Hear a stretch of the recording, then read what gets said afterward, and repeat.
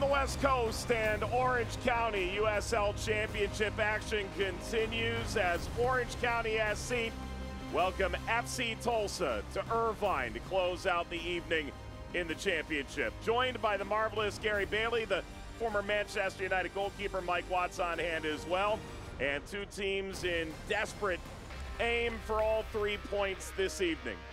Let's start with Ashton Miles. This is an OC kid who made good last week, the Omega Accounting player to watch tonight. Yeah, just 19 years of age. How do they keep doing it, Orange County, finding this young talent and bringing them through? And what a good goal he scored from a corner last week against Miami FC. So excited to see how this man develops in the years ahead. Take a look at that remarkable moment in front of a sellout crowd here in Orange County last week. That got the game on the level terms. Ultimately, Miami would go ahead once more. Orange County would ultimately have the last laugh as they get the Thomas Amang 70th minute game time goal to steal a point.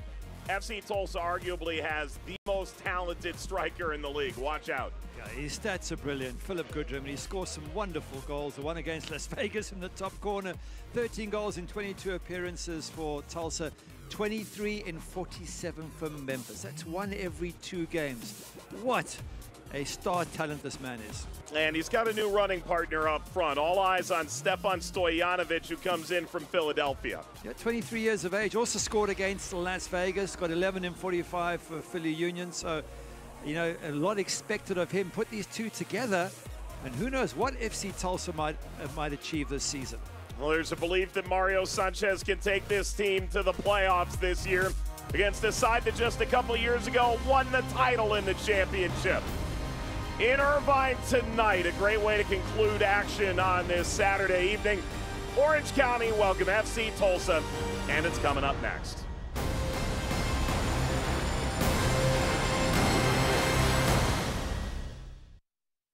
When I found out I was pregnant, I was obsessed with getting ready.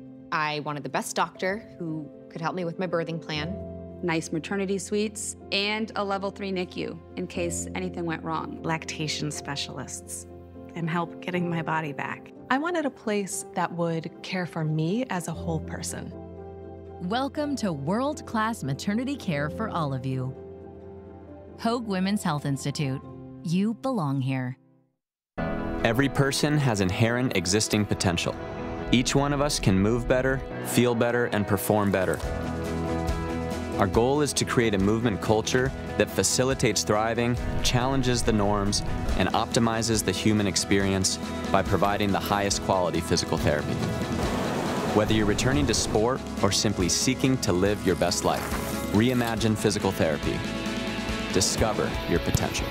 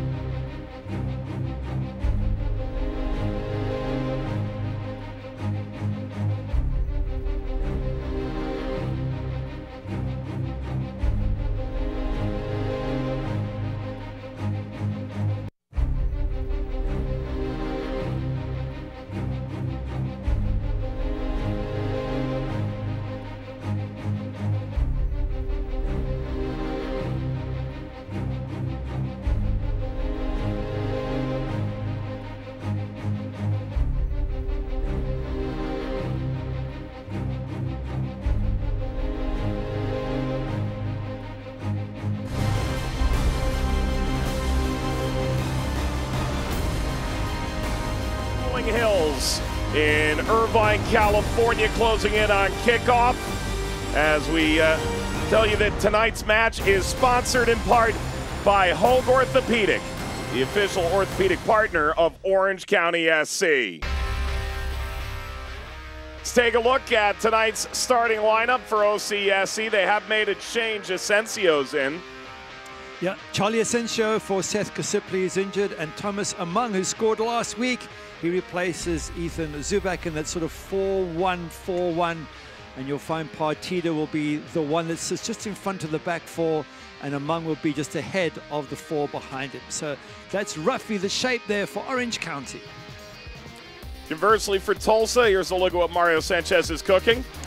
No changes to that side. They're still in that 3-4-3 lineup. Stojanovic up front with Goodrum just behind him and Portillo. What a dangerous front three they are with Siegrist and Suahi bombing up on the flanks.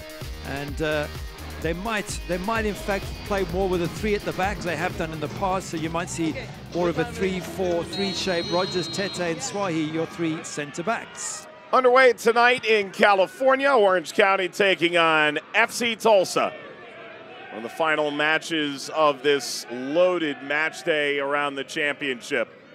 Orange County three unbeaten to start the campaign with a draw against Memphis to hang their hat on last week. While FC Tulsa comes off a 3-1 season opening win at Las Vegas.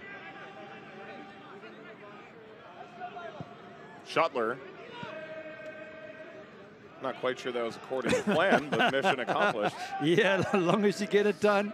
But for a goalkeeper in the opening match comes up and scores the equaliser from, I think it was a corner, he's allowed to have the odd slip. I don't mind.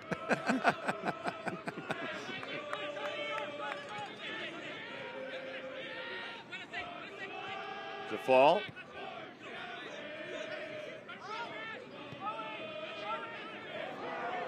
Healed flames out. Comes to Michael Creek. But we take a look at tonight's keys to the game. They're sponsored by Patterson Auto. You, you need to find a way to contain Philip Goodrum.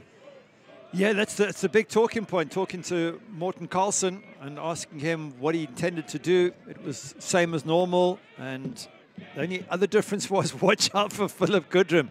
He really rates him so highly and so important. We did also chat to FC Tulsa's coach, Mario Sanchez, and he said he wants to dictate the game with pressing. So let's see if they're able to do that here today, FC Tulsa. Won't be easy to press Orange County because they'll be pressing FC Tulsa, and they do it quite well on their home ground. And sometimes you play on these tiny fields, right? And, and Tulsa at times gets that benefit.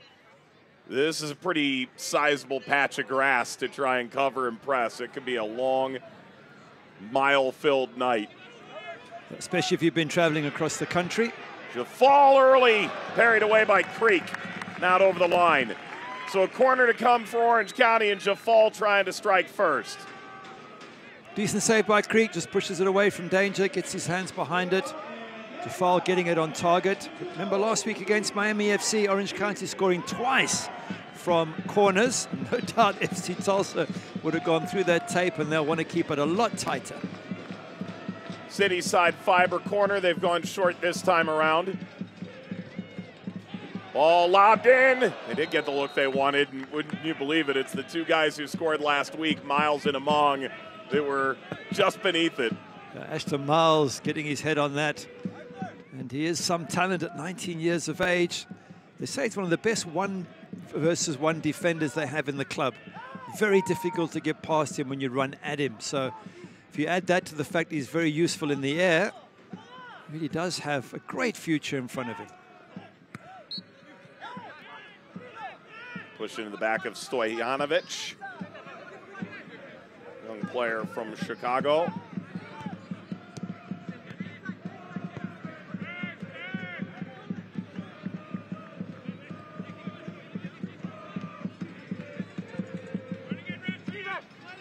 Tete.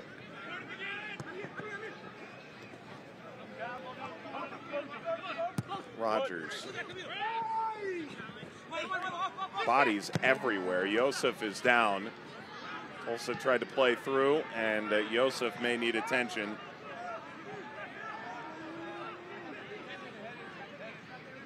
Pressure from Stojanovic. Does win it back. Stojanovic coming, Shutler as well. Got there first. And they will come back to the injured player, Milo Yosef, the 24 year old German player, electric in wide areas. Very, very quick. Looks like he took a knock to the, the face. In these days, players will insist on getting treatment. They'll stay down as long as it takes, and eventually the referee will have to stop the game. Protocol. Just going back, though, to Colin Shutler. Very quick off his line there. He had to get that right. If he missed times coming out of feet. It's an obvious penalty. As Morten Karlsen, head coach for Orange County, looking for some clarity, perhaps providing it. Oh, what a difference he's made since he took over last season. They were in all sorts of trouble, Orange County. He got them tight defensively, the second best defense in the entire USL behind Pittsburgh in terms of shots allowed on target. And he's uh, got them playing well again this season, unbeaten in three, and they were top of the West coming into the weekend. So what a fabulous job he's done. Remarkable turnaround after things really stalled for whatever reason. Richard Chaplow at the beginning of the year, and it started to feel like we might be in line for a 2021 kind of run where you make the change mid-season and glide all the way to the title. Ultimately, they did fall just short of that goal. And when we asked him about that, he said, you know what, we just didn't have the depth in those final couple of matches. And he said if we have, you know, if we get, if we felt if we got more players on the bench, we could rotate a bit more and we'd be able to make a real crack at it this season. And just looking at them so far, you've got to believe they have every chance of going the whole way. Well, having Casiple and Zubak available off the bench tonight, substantial. Bryce Jamison, Christian Sorto. It's a good place to be for Orange County. Let's take a look at tonight's injury report. It's sponsored by Zolfagari Law. It is an extended injury report at that. Center back Knockham is out. Scott is available and in the sub bench tonight. So that's positive news. Still without Dylan Powers, who can play such a, a valuable role. Now, sundown has just occurred in Orange County, and for the players that are observing Ramadan. This is the first chance since sunrise this morning to take a moment to both hydrate and eat for the first time today. For those unfamiliar, this has occurred throughout the, the global game over this month of Ramadan. In matches in which players are observant.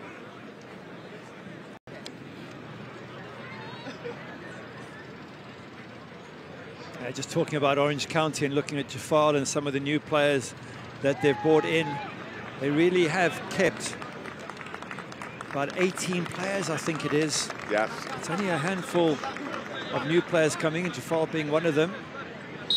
And Branilovsky and Seth Casiple, in fact, in their fifth season. So when you get that sort of continuity, I think you have every chance of having a great run in this competition.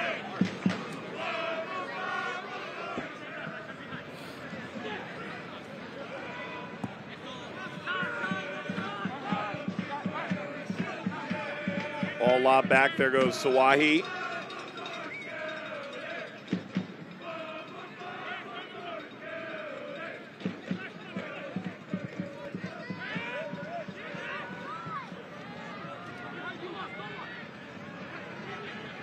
Rogers.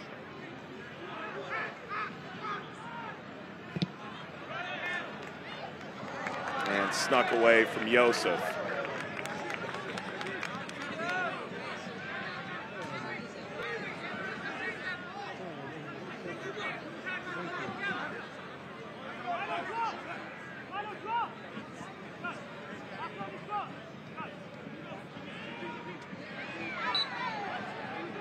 Whistle's gone here.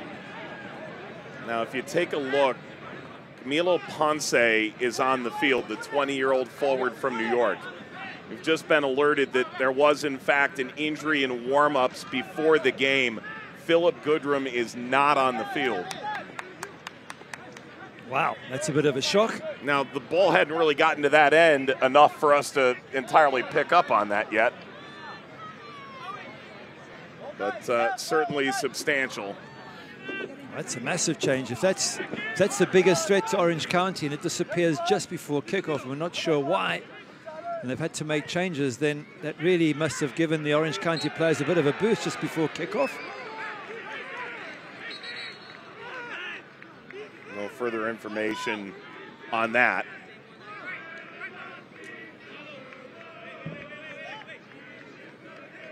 So simply a late change. Meanwhile, Iloski, a late knock there.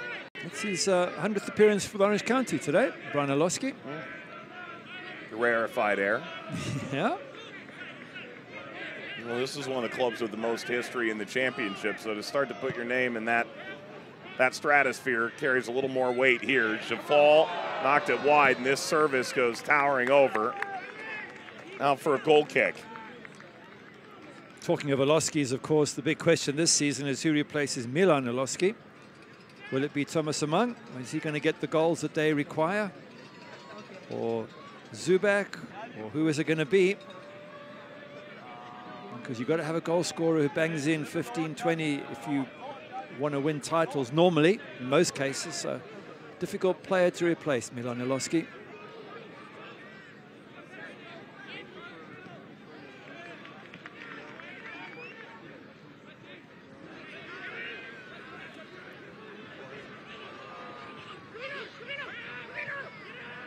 Big occasion for Ponce, puts it wide. Ball lobbed into the area. Ponce will continue to chase all the way to the end line and ran out of real estate. Wasn't able to save it, but ultimately it's still a corner.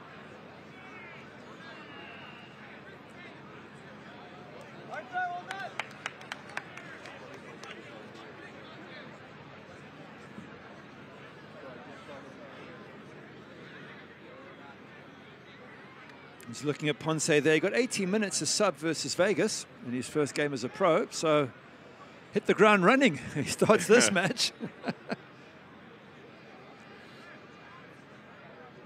Portillo plays short. Lane Farry. It's a knuckleball into the area. Up by Segrist. Asensio.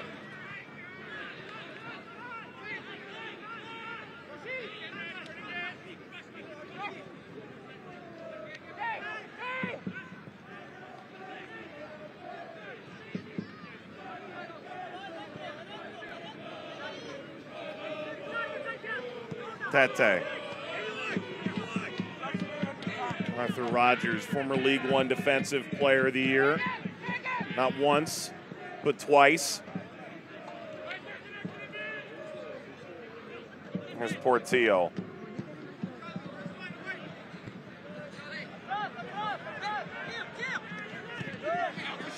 Swiped off of Dunbar.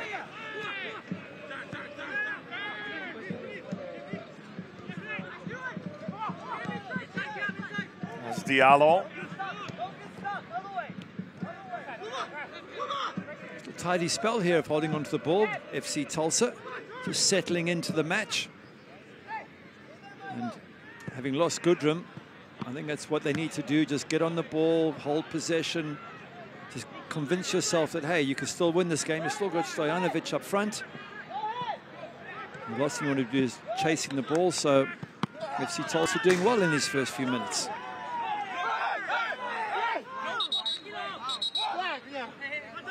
What do you mean?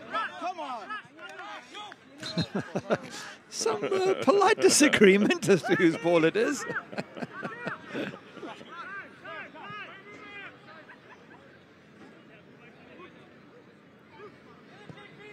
One thing about Orange County, though, they're the only team, along with FC Tulsa, who only played the one match, of course, but only team to have scored multiple goals in multiple games. FC Tulsa did it in a single game. Lobbed long, Creek. Let this roll into him. And all six goals scored so far by Orange County, six different players, including the goalkeeper. That's that's right. Got to keep mentioning that for the goalkeepers. It- this is for the Union, I can tell. Absolutely. Well, this is enticing for Tulsa with a little bit of a gallop to it. Stojanovic. Well, Karam's around.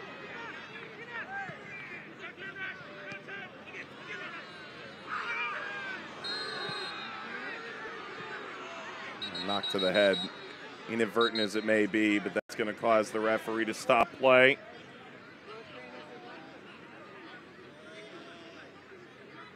Trevor Wiseman like his name says, wise to stop play. It's Amang down. Tete heads or tries to hit the ball, heads into Amang's face, so it seemed. And very wisely, hit the ground quickly before referee Wiseman could give him any cards. Generally, if you, if you feel you're a bit late on a tackle and you've hit someone, you tend to go down as quickly as you can with an injury as well. And the hope referee sees it as a you know, clash of heads or whatever. We'll see if he'll take any action.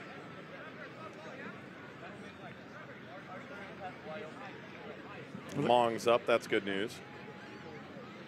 Certainly is. It's getting back to the change. Camilo Ponce coming on to replace the main striker, Philip Goodrum, just minutes before kickoff. That would it always throws a team when we've been in that situation. You just get a little unnerved for a second that your star striker's out and is this young man, 20 years of age, going to be able to cope? But you soon settle in and you start playing with the players you've got and believing in them. It just takes a couple of minutes though, and already uh, it seems as if FC Tulsa have rearranged themselves. They, they might. You sort of wonder with a with a young player coming into the equation. Sometimes it might be better not to know. Yes. For 24, 48 hours, however early a coach wants to start contemplating those moves. Yeah. Yeah. It's, it's often done that coaches will tell a young player only an hour before the game. Yeah. Just so they don't have too many night, sleepless nights, which can affect your fitness. I mean, you're yep. not your fitness, but your energy levels going into a game. Well, there's me saying that it was professional to stay down. It looks like he really is hurt, so I hope he's better and get up from this. She Tete, I believe that is on the ground. My comment was a generalization. Obviously, there are circumstances which are different, and this one does seem to be different. It does seem to be struggling, and imagine that for FC Tulsa if they lost two players, one just before kickoff and one 15 minutes into the game. That would not be good. Well, that's going to leave a really brutal moment, both in depth for striker and center back. So you do have a, a club legend, to be fair, in Bradley Bourgeois, available off the bench.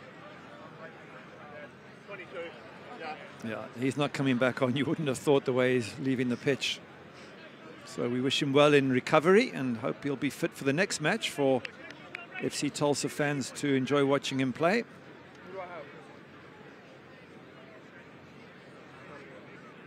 You know, it was so interesting seeing his time at New Mexico, how Troy Lesesne and eventually Zach Prince said he was finding his voice and organizing more and growing in confidence as a young professional player when he first came out of High Point. And now the Ghanaian at the age of 28 is really tasked with leading that back line. Comes off in obvious pain. And it is Bourgeois who's going to come on.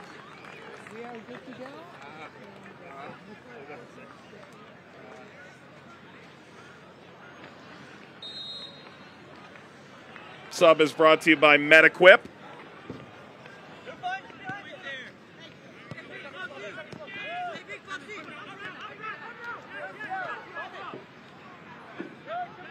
And so, in theory, you would think Tulsa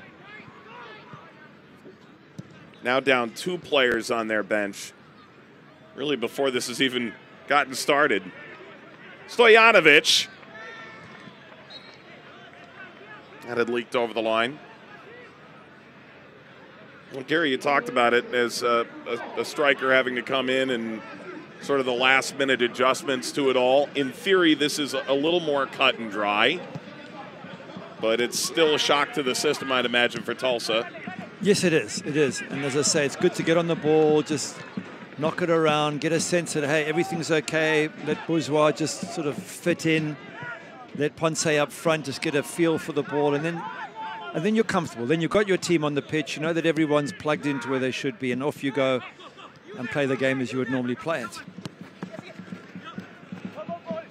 Portillo away from Amang and picked up by Rogers. Swings it in over the top. There's Shutler. You saw Dunbar immediately book it for Bourgeois as if to say, just how game Yeah. ready are you right now? oh, you always test for weaknesses, don't you? When there's a young goalkeeper, you'll always take shots at goal just to see if they're ready for it. Ponce, you'll probably give him a bump or two, see if he's up for the physical battle. And Bourgeois' been here, but sitting on the bench for, what, 30 minutes since Yeah. warm-ups? Exactly. No way he could have been prepared to come into the game and into this. Dunbar. Dunbar curling. Closer it got, the more you thought maybe I could sneak inside the post, but it uh, snaps late. He put some serious bend on that, didn't he, at the end? Look at it there. It really is turning, but I think the goalkeeper, Michael Creek, is more than comfortable that's going wide of the goal. He's looking at Colin Shutler, second goal against Miami. Big question marks as to how they beat him. It was a shot from, from way out, and he seemed to misread the ball in the air. Got two hands to it and couldn't push it out. So, having been the hero in the first match of the season against Sac Republic, getting the equaliser in the end, he became a little bit of a villain in the last match because of his high standards. And fairness to him, he's a very good goalkeeper. I think a few of his teammates looked back and said, "Really, that beat you?"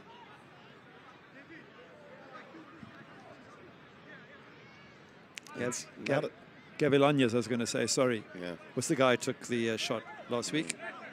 Two goals. Alan Yep. Gavilanes. That earns you Player of the Week. First one was also a little bit of question mark again. Colin Shutler beaten at the near post from a, a tightish angle. Maybe he didn't see the ball. That's forgivable. The second one, I expect him to stop that. So he'll be looking to have a good game today, Colin, and just, you know, just get over the hump of that Miami equalizer.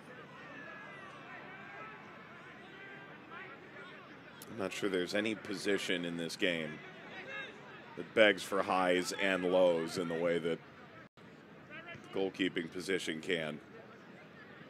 There I would agree with you. One thing used to frustrate me, my striker could score once every three games and be a hero. Yeah. I can play brilliant, not brilliant, but you know, fairly well for 93 minutes, make one mistake, and I'm the villain. That's it. Asensio ran out of room. See, there's no villain here. Ball just ran away. Exactly. I always say to my uh, to the, the, the kids that I, I teach goalkeeping to their parents, you will not get a better test of character and growth in a child than have them be a goalkeeper. because they're not the hero the whole time. They take the knocks, they have to hold their hand up, and it gives you gives you an inner strength. So goalkeepers listening, do not despair. Your character will grow even if even if it's tough on the pitch. Asensio inside. Shata! Well, you don't blame the, the former trialist for having a go. Early in this season, he's found himself having a, a go or two like that every game. A lot, a bit, a, lot of, a, a bit too much space there. You know, you're 25 yards out. You've got to get closed down a little bit more quickly. And eventually he says, well, if no one's closing me down, I'll have a dip. And he wasn't that far away.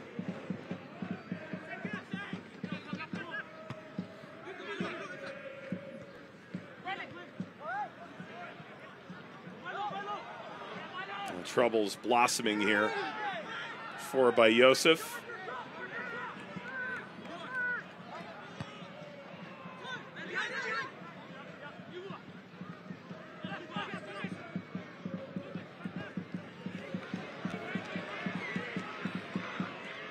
Kept in by Lamb. Off of Segrist.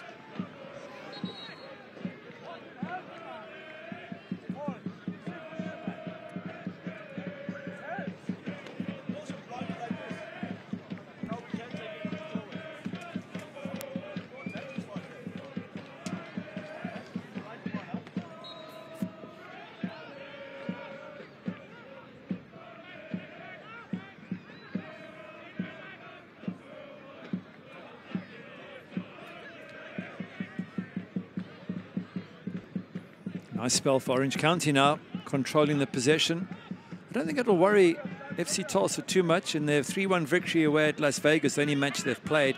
They only had 29% possession, yet they won 3-1. So They can sit deep if they have to. They can counter when they need to. And they can be quite devastating in attack, even without Philip Goodrum. Stojanovic got a goal in that match.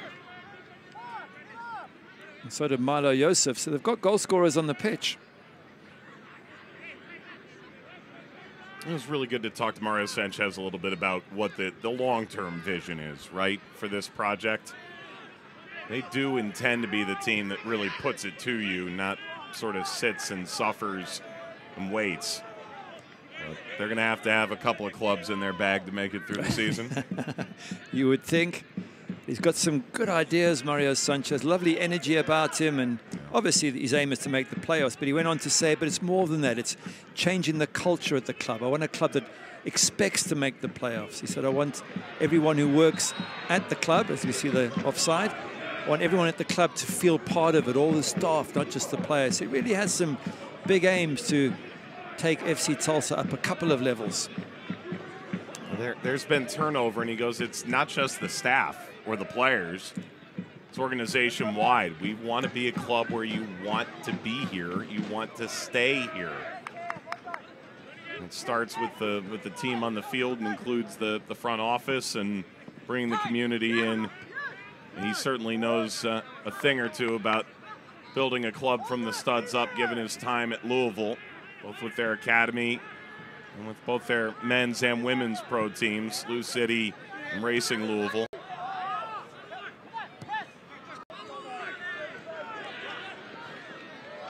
Good run from Dunbar. Amang.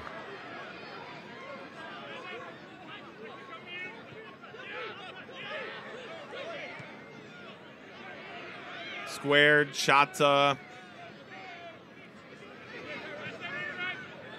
Good spin. Djeffal. Djeffal! That is remarkable first goal for Orange County.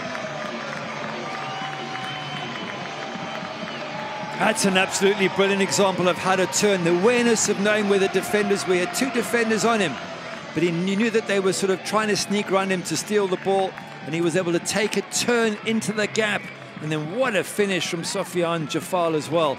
Absolutely top, top class, but the awareness of the Frenchman to know exactly where the players were around him, and you can see the MLS experience from Austin FC coming through. And we are just saying earlier that they were allowing players a little bit too much space on the edge of the box. Wait for this ball to come in and just see how he turns, how he's aware that there's two players, both of them, both of them around him, Milo Yosef and Boubacar Diallo, both were thinking I can nick this ball. They go wrong side of him. He's away, he sprints, and then what a fantastic bend. Michael Creek gets a hand to it, but not enough to keep it out the back of the net. They felt he just needed minutes. Well, he'll get minutes. The goal presented by Hogue, and what a goal it is. Sofiane Djeffal, his first goal for Orange County Soccer Club. Comes in the 27th minute, and Orange County trying to start the campaign. Four on the bounce without defeat. Whistle's gone. It's another potential head injury, which draws the uh, athletic training staff out. Well, this is already their best start since 2011 when they won opening three matches, Orange County. But you're right, they go a fourth match, unbeaten. Everyone in the West is going to be looking at them saying this could be the team to beat. And they've brought in quality players with MLS experience. Not just Djeffal, but Cameron Dunbar now in his second season, but he's got MLS experience. Brian Iloski played in Poland for a while. Charlie Asensio from Austin FC as well. And it goes on. You put it, you put as many good players as that together, Morten Karlsen, you got yourself a good side. You know, I was chatting with Khano Smith about this because he was part of the initial build with Tommy Soehn in Birmingham. Now he's at Rhode Island. They sort of figured it out on the fly. You can go bring in guys in their 30s, who played in MLS and they aren't necessarily plateaued or rising. It's the tail end of their career, and this is not the league to extend out your playing time. it, it's just too demanding in, in a number of, of both physical and certainly the travel and, and the uniqueness of coming into this league, both stylistically and travel. So if you get guys like like a Powers or you, you, you listed it out quite well, guys still either on the upswing or entering their prime mm. with that experience, completely different equation than bringing in a 33 or 35 year old player who's played 250 games in MLS, better household name, but maybe not the right fit now. I think it's a very, very good point. And, and to that, Charlie Asensio, 24 years of age, Right. he wants to come here and play well and get back to the MLS. Same with you know Sofiane Djeffal, Cameron Dunbar. They still see a greater future ahead for them. But you're right, you come here at 33, your days at MLS are over. You're coming here just to see out the final days, and the, the, the desire isn't there, the commitment level isn't there. It's human nature. So I think you make a, a very good point. Well, if Olivier Giroud wants to come down from oh. LA, we'll take him. It's a little bit different. You can always make exceptions. That's right. Yellow card comes out for the tackle on Amang. Started to pick up speed and power going through midfield. And got whacked at the ankles. Helped up by Stojanovic. Gets away there. You see, that's just nasty. And I think Justin Portillo, that's a fair yellow card. It was it wasn't an error. He'd lost him, and he just said, "Right, I'm bringing you down." So you pick up the yellow. Problem for Portillo, he's quite a, you know, quite a battler in midfield. Now he's got to tread lightly. Two thirds of the match still to go. I don't see why you have to bring someone down in midfield. If they're on the edge of your box, I get it. You know, there's a there's a risk he's going to get in the box and cause you trouble. But on the halfway line, you know, now you've got to manage that yellow card. And that's not your center back either. You did have two players behind you. Exactly. Yeah. Yeah. You didn't really need to do it. And how many times over the years have, have we said that early on in a match and that same person's got a second yellow and left the pitch and of course the whole dynamic of the game changes and you can trace it all the way back to an unnecessary first yellow card. Well, I can tell you, Tulsa cannot afford to have anyone else leave this field. That is some scary stuff from Michael Creek.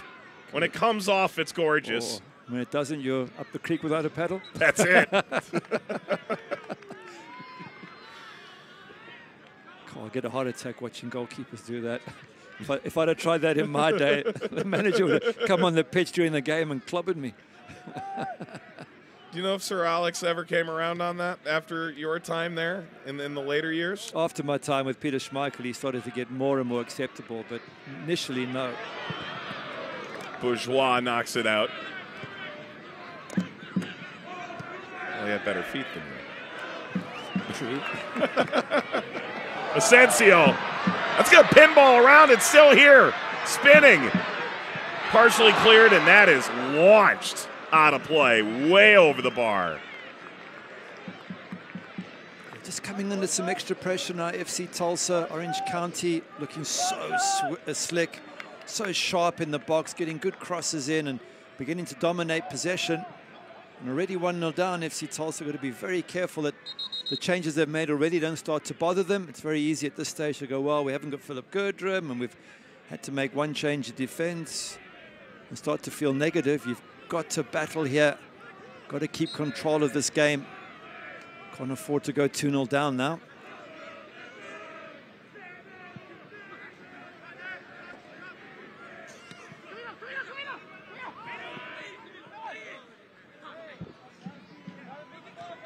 Battle out of midfield, well handled by the former Boston College and Wake player, Ponce.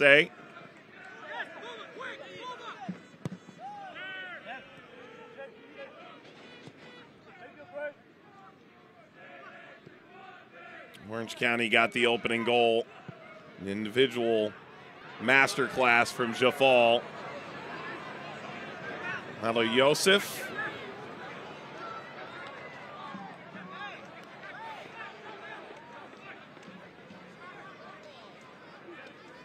Orange County SC hits the road the next two weeks, returns home to Championship Stadium Saturday, April 20th, 420 against rival Sacramento Republic. It's Gnarly's birthday party. My guy.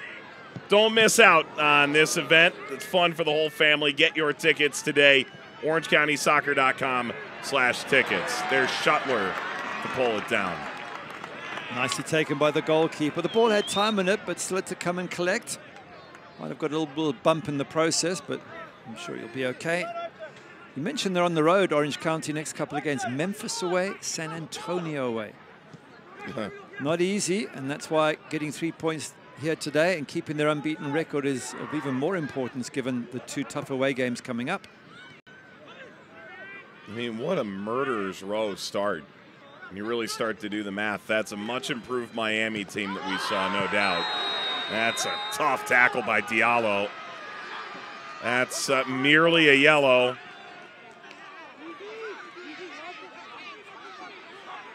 Diallo getting pulled away by the cooler head of Ponce in this moment.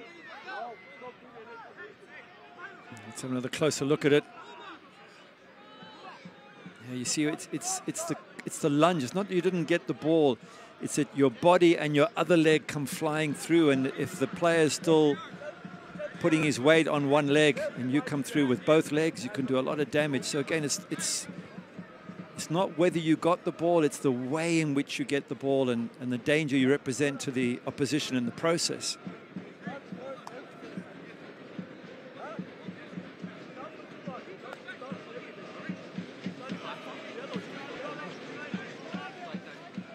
Thankfully, Asensio able to continue. Doesn't have to go head for the Cabanas, which are back for 2024. They're up on the Omega deck, premium experience. The best way to invite out your group up to 20 to enjoy a match here at the Champ. Enjoy your own private bar, other exclusive amenities. You can inquire today at orangecountysoccer.com slash premium for more information.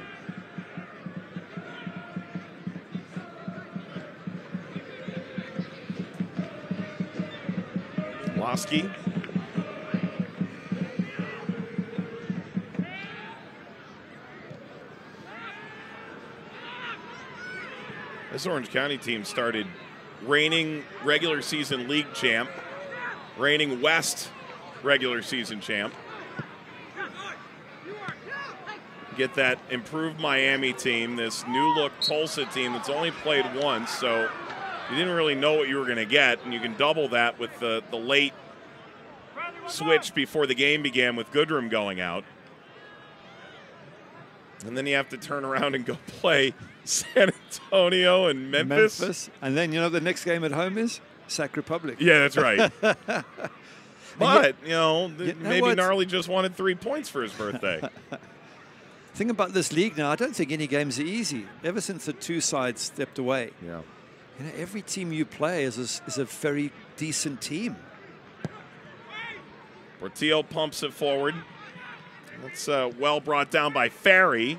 Taken out of the air and lofted out of play by Stojanovic. Stojanovic coming from one of those two teams, the, the Philadelphia Union 2, although his time came in MLS Next Pro. You just can't quite get over the ball. The object there is to hit it down as much as you can. Not an easy skill.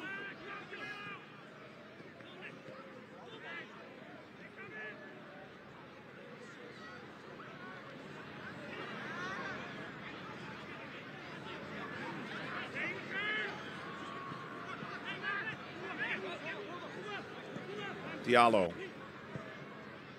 Wide from Portillo.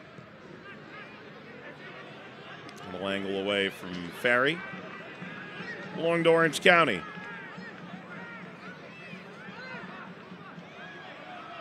High pressing here, FC Tulsa, which is what Coach Mario Sanchez said he wants from his team. Now they're beginning to back off as Colin Shutler looks to knock it long.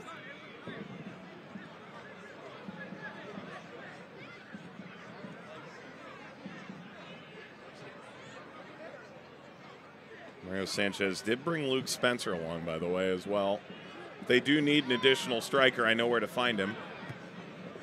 The, the former Lou City talisman. Big, tall, dangerous on set pieces. I don't know if they could get him registered in time for this game, but I have a feeling he could be ready if needed for the next one. It'll be home against Phoenix next Saturday. I think that next Friday. Yeah, but look at their runner games. Phoenix, Sac Republic, Charleston. So I say this league is so tough now that I don't think there's any easy runs, easy games. I think it's one, one of the, what, in my opinion, the best USL I've, I've seen. It's just got stronger and stronger every year. Hmm. It's early service, pounded away. Slide in. Diallo got knocked down. Here comes the latest card. So it might be one of those nights. The wise man has spoken. And that'll be Chata booked.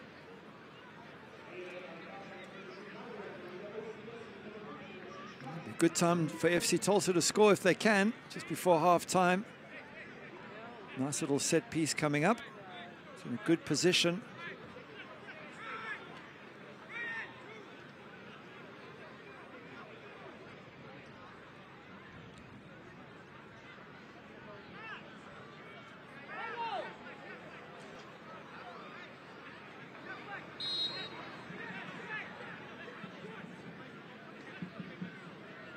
Portillo's got a magic wand, but if he looks to his left, there was about 30 yards of unimpeded space down the line. Instead, sought the back post. Header snapped back in front by Suwahi. Ultimately, Orange County survives the threat. Suwai doing really well there to get that ball back into play. It's just uh, it was quite deep, but maybe that's what they planned to do. Unfortunately, there was no one waiting for his header back. But that's better from FC Tulsa. They've been on the back foot for a while.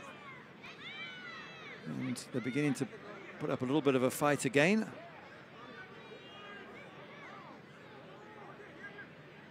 They lost 3-0 in last year's fixture, FC Tulsa. Last time they played, so they won't want a repeat of that.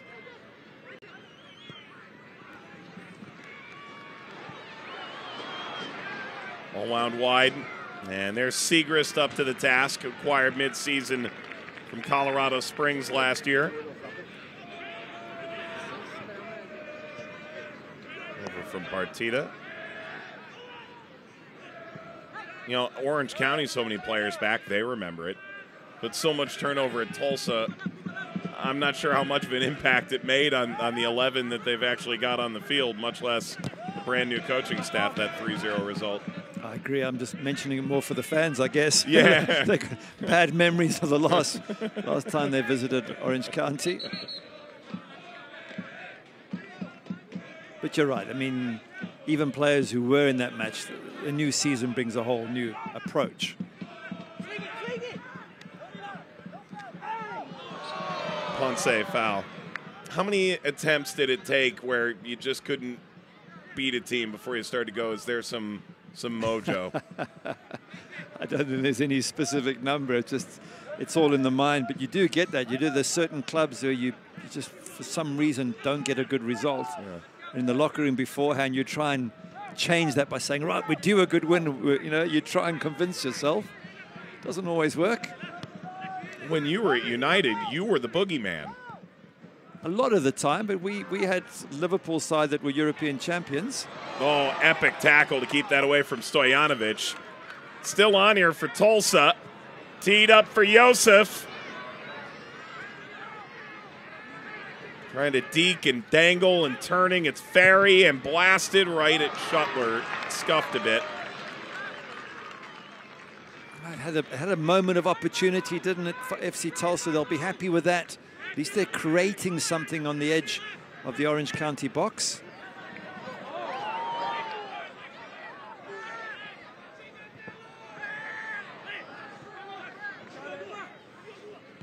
Was that you giving Liverpool credit? Oh, I hate I hate to say it, but yes, they were not a bad side back in the day. Not bad now either. yeah, yeah, very much so. Yeah. It was all the time in between. Happy time from a Man United point of view, trust me. And now Liverpool fans are saying the same. For them, it's a very happy time that Man United is struggling. Turn by Diallo.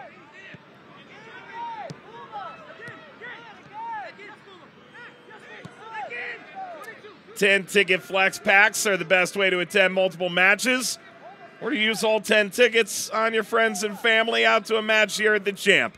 And to orangecountysoccer.com slash flex dash packs for more information.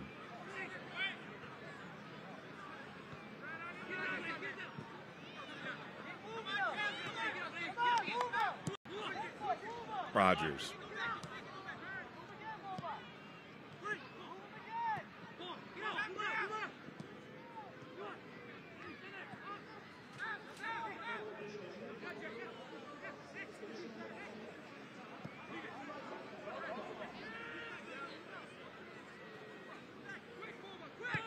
Into the first of six minutes of first half stoppage time.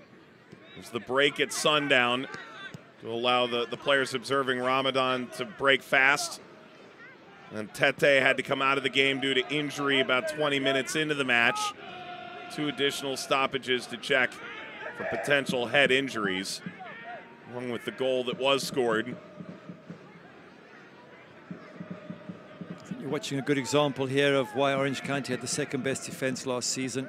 They drop into a low block very quickly, very well organized, lots of numbers behind the ball. Look at those orange shirts, almost everybody deep. And look at the counter attack now. Oh, it's very much on Dunbar.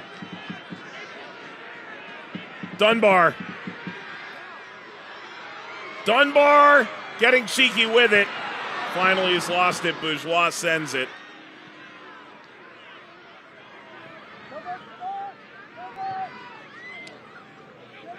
That deflected kindly to Iloski. Early service. Juggled forward, now sent wide. Long did well to hold that run, stay on side.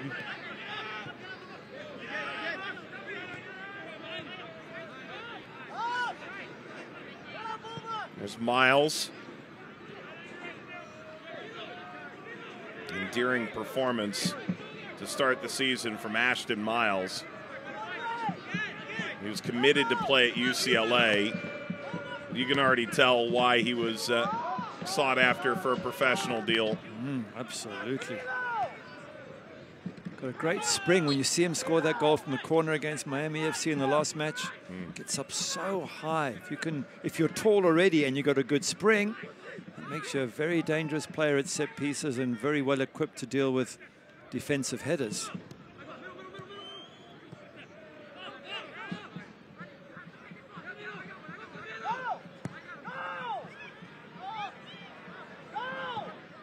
Fox operates back through Shutler.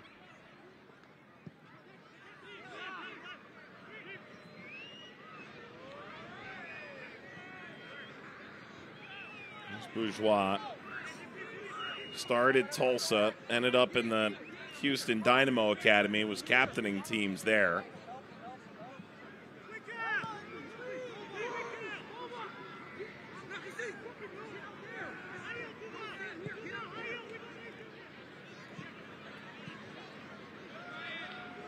Here's that really low block again from Orange County. It's not just they're in their own half, they're, they're, they're 10 yards inside their own half and then deeper than that. They really give you little ground in which to play. Ooh. This is uh, becoming an issue for both teams, frankly. Another yellow card.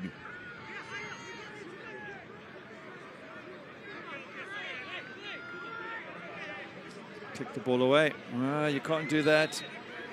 Another one of those cheap yellows that might come back to haunt young Camilo Ponce.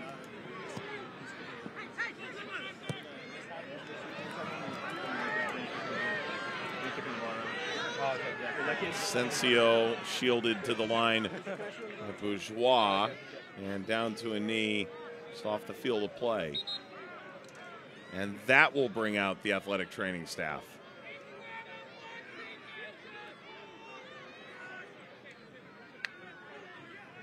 For a moment, I think Bourgeois thought he was about to get a booking.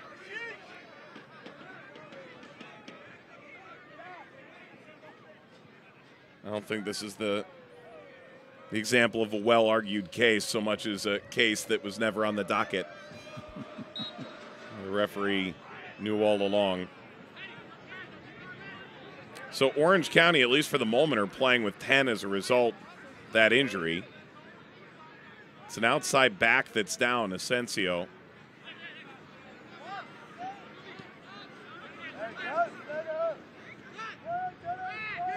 This is just never quite found a rhythm.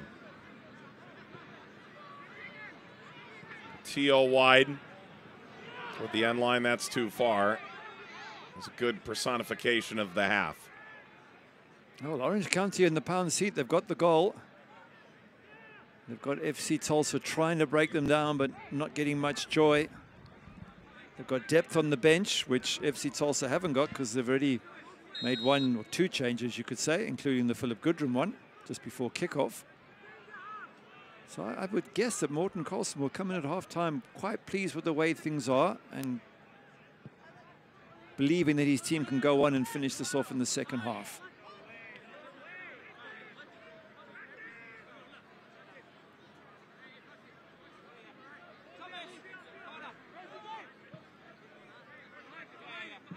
It's not to say, of course, that Mario Sanchez believes that. He'll come in and fire up that FC Tulsa team and tell them to get the ball to Stojanovic more often.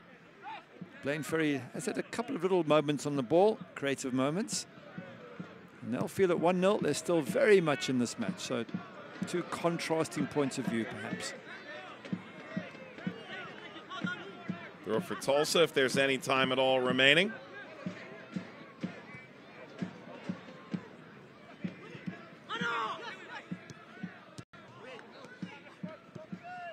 Oh, it's on now for Yosef. Stojanovic making the central run. Yosef. That cleared back. Blocked. Portillo gave it a lick. Sent up top Ferry. Orange County sprinting into the attack. Bourgeois the touch. And halftime arrives. So it was quite the half in a number of ways. It again felt a little out of rhythm from the beginning with the, the late change in lineup that saw an MVP finalist of prior years lifted for Tulsa and Philip Goodrum. However, Orange County does get the goal in the 27th, and goals did in fact change games. Oh, absolutely. Orange County looking strong. There's three yellow cards for FC Tulsa. Again, got a little bit chippy here and there, and FC Tulsa got to be careful with those on yellow. So, yeah, it's all set up for a very exciting second half. Gnarly welcoming the players down the tunnel, and we'll head into halftime. Djeffal, a uh, remarkable first goal for his new club. And the home side has the advantage at the break. Look around the league, look at our first half highlights, all coming up here in Irvine.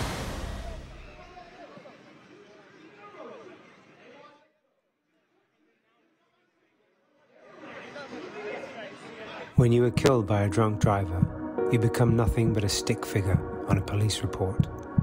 Your death will be a story never to be told by you, and justice will never be served.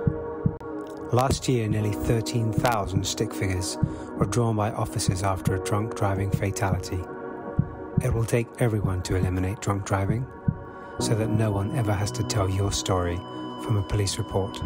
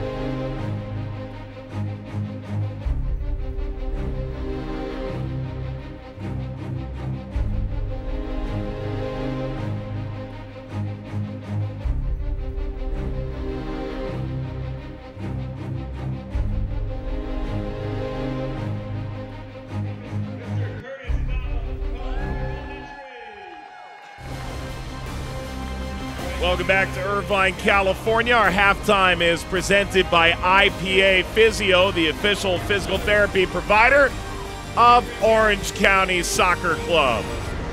Joined by Gary Bailey, Mike Watts, a lot to chat about in uh, what is a very busy moment around the championship.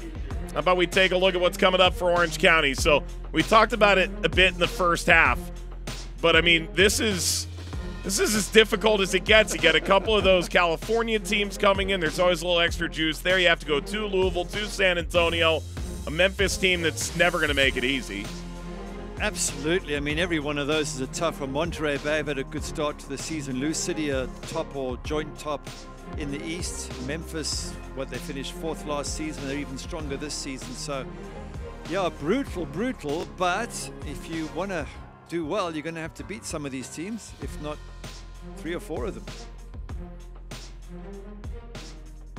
Meanwhile, for FC Tulsa, so they'll see the reigning champion on Friday night those tend to be a little rowdy in Phoenix historically. You'll usually see some pretty imbibed folks. Then you get at Sacramento, you host Charleston, who are the finalist and the winner of the East in the playoffs. Then you have to go to El Paso and Birmingham. So to go through April, you, fail to get points in this game if it ends up going that way, and it, it could go pretty pretty rough pretty quick if you can't find some points, especially in those home matches. Yeah, agree 100%. And it's almost the same story as we've mentioned now for Orange County. Everyone's a tough match, everyone's difficult.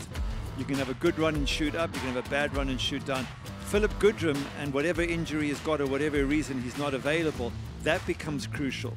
If he's back for the next match, fine. But if it's something that's going to keep him out for a few games, that could be a big problem for FC Tulsa. That's the kind of thing that can really hamstring your season as FC Tulsa will certainly uh, have quite a bit to deal with. We'll uh, step aside, come on back in a moment.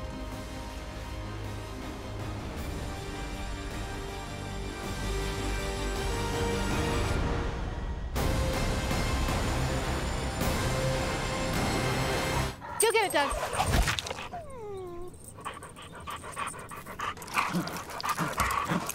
When termites show up, so do we. Terminix it. You've given us a foundation to be proud of. We build on this now. This is it now, gents. This is us from now on.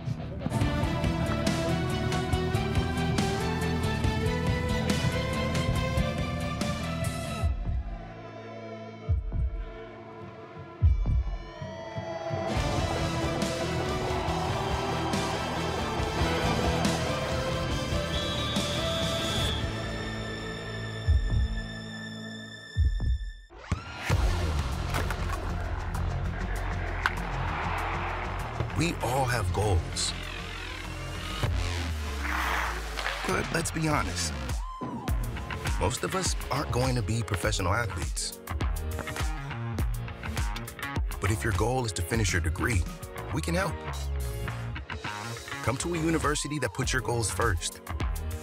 Bellevue University, your partner in finishing goals.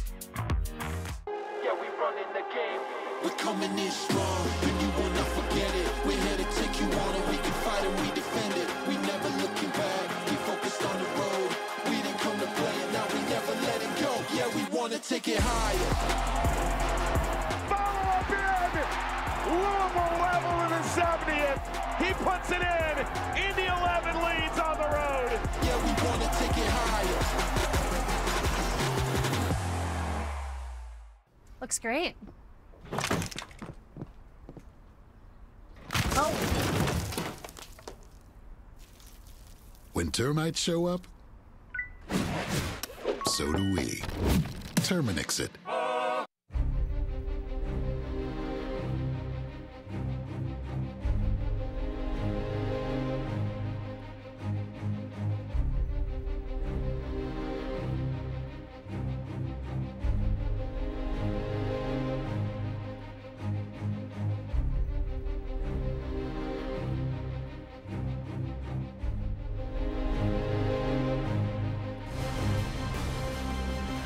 Halftime is presented by IPA Physio. They're the official physical therapy provider of Orange County Soccer Club. Wonderful Saturday night in Southern California. OCSC ahead of FC Tulsa, 1 0 at halftime. Gary, Mike, we can tell you a bit about the USL Championship news and notes. Louisville City will see Indy 11 on CBS coast to coast on Saturday, April the 6th. We are less than seven days away now from that 4 p.m. Eastern Time, 1 p.m. Pacific start. First time ever on broadcast TV. Rhode Island's in. Albert Dikwa, big shock, right? Oh, but what a striker he is. To get him, well done, Rhode Island. And yeah, came the first official goal scorer, scored twice in that game, didn't he? Did. Yeah. So too did Alan Gavalanis, which Yep. earns what was a painful brace against Orange County for Miami FC.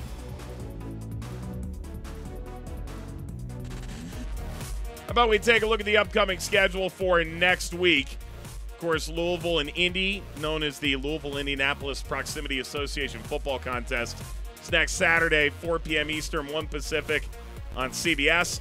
The rest of these games are on ESPN Plus, including that Friday night Tulsa Phoenix affair and Memphis and Orange County. Yeah, all great games. I mean, Detroit City started well, so that's another one worth watching. Hartford Athletic off to a real jump start there as well. So every every team seems to have something exciting to offer this season. Even North Carolina, they got a win over Hartford after Hartford went six points from their first two matches. So you pick which team isn't going to make the playoffs. Good luck. Have fun with that, Gary. Sounds like a you problem, my friend. And give you an idea of the scores that have uh, gone on already. Tampa Bay flexed their muscle in St. Pete, four goals to one over Expansion Rhode Island. That is a welcome to the league lesson. Not nearly as bad as Birmingham took it from Louisville City, however. Oh, Ray Serrano getting the fifth goal, and didn't he play well? But it's a number of really good performances from Lou City. Some of the new signings bombing up and down the flanks, and goals raining in. Detroit able to come from behind, get a 2 1 win in Indy, and Charleston late, late, late. Yep, Charleston got one very late, and but well deserved. They seem to dominate Miami. They had way more chances, and they won that one four minutes from time. What about Detroit? Away, was that now the third win in three? Yeah. Wow. Maybe they're onto something there in uh-huh. Detroit. I'm not quite ready to give them that measure of credit yet. Dichio, new coach. I'm willing to give him the credit. it's halftime here in Orange County. They deserve all the credit. They lead 1 0. The break will show you how. Kick off the second half when we come back.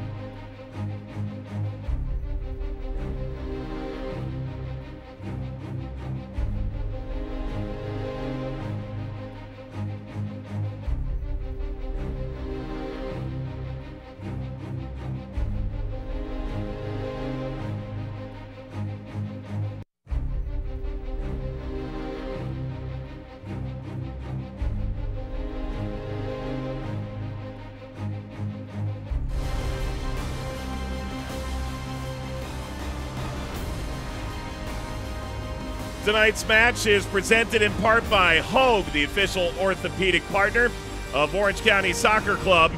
And once again, the Noah Benardout Foundation wants to remind fans to never drive drunk and get home safely.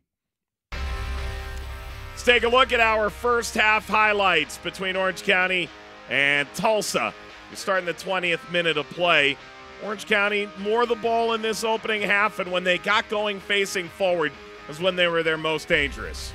They're so good in and around the edge of the box. Cameron Dunbar just looking for an option, bends that, and doesn't it whip towards the end? You're thinking now it's going wide. You think, oh, hang on a second, it's not going wide, is it? It just goes past the post. But they certainly they were clever around the fringes. They had opportunities, and Chattha there has a, a, shot that flies over, but just given a little bit too much space on the edge of the box to get that shot in, and you just felt that if they kept on doing that, something would happen. And Sofiane Djeffal is such a dangerous player, so clever. Just turns in between those two defenders, sticks it past the goalkeeper. Michael Creek does get a left hand to it, but just can't push it out of the goal. That's a great turn and a fantastic strike from Sofiane Djeffal. Welcome to the club. And uh, that dance plus that reaction tells you all you need to know. Here's a look at the first half stats. And not a ton of action in front of goal on either side, but Tulsa just one shot to show. I think that's the big difference. Four shots Orange County, one shot to FC Tulsa. And a lot of Orange County's possession was around the fringes of the Tulsa box. And they, for me, they looked a lot more dangerous.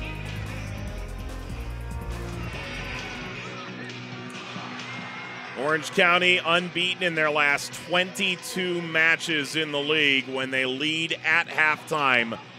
Did not once lose a halftime lead in 2023. You'd have to go to April 24th of 2022. They led 1 0, lost 3 1 to Indy 11. So Tulsa have a mountain to climb here in Southern California. The wise man says kick, and so we do underway in the second half. I'll ride this all night long.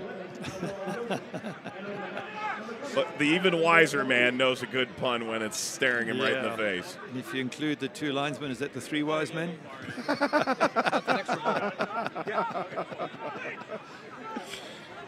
oh, I'm so sorry, Trevor. This is. then what's the fourth official?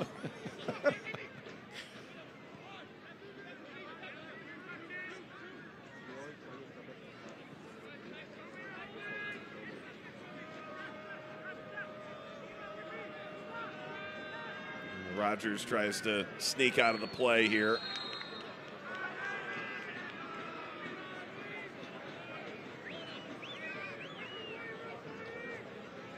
Tulsa is going to have to utilize this uh, roster as best they can.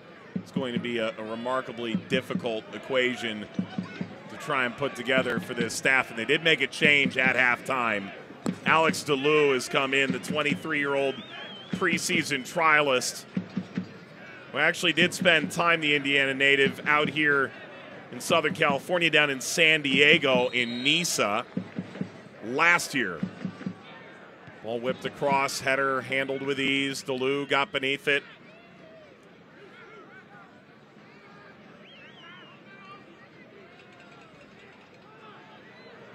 DeLu dancing, running out of room.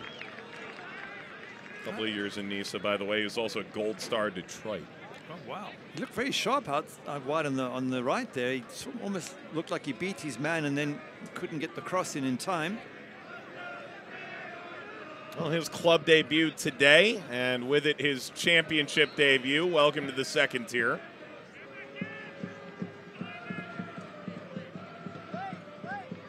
It's early on in the season and throughout the league, we see quite a few debuts.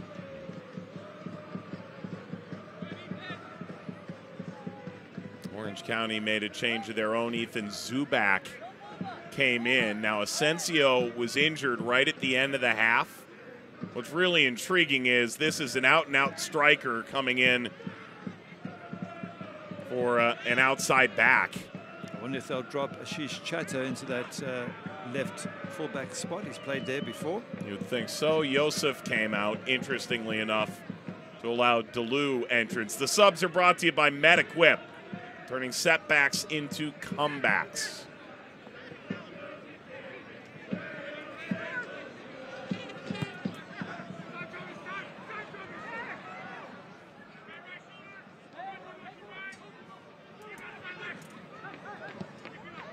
Ball early, backside. Oh, wow, how did that not get through? Wow, what a great chance for Orange County. I'm still not entirely sure how it even happened. It's a great cross to the far post, put back in, and then literally a miss hit from all of six yards out. Is that Dunbar? Yeah. I mean, just put this in the right direction. Creek was, in fact, without the paddle. was.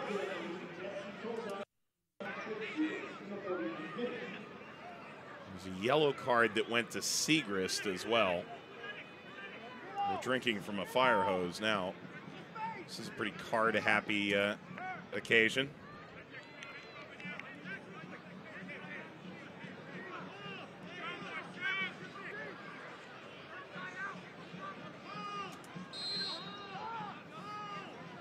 Free kick to come. Djeffal. Sneak down to Ferry. He's got to do something with it. He's gotten it all wrong. And now he's been taken out of his boots. Curling effort, Creek. Rising up and knocking this out. That's a good save from Creek. That was going in. That is some strike from out there, that angle. Dunbar again. And he puts that dip on it. You see the ball come down and the goalkeeper doing really well just to tip that over the crossbar. City side fiber corner. It's another short corner.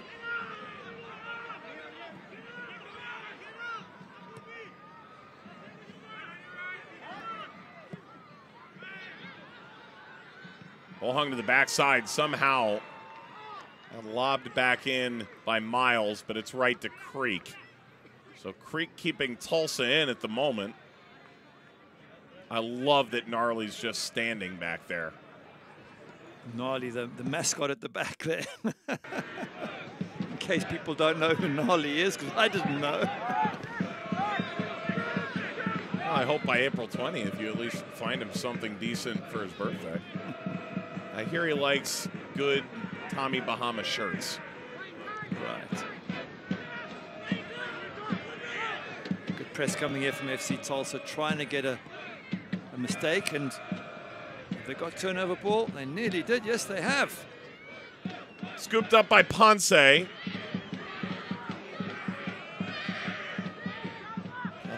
cutting through the grass.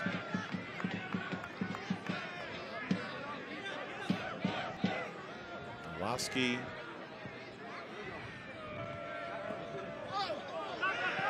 Flick on header. There's the push in. Bourgeois.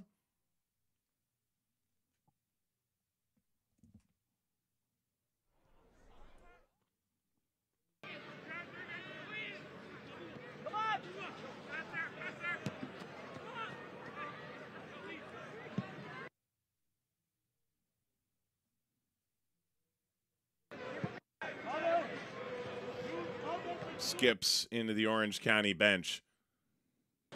You, can always see Morten Karlsen just sort of moving the chess pieces around yeah. a little bit, right? He just looks so cool and calm on the side. You really see him get uptight. It's the Scandinavian nature. Well, Diallo's on a yellow card, and uh, I think he may have gotten his warning. That late push put Amang down directly onto the ball may have taken the wind out of him.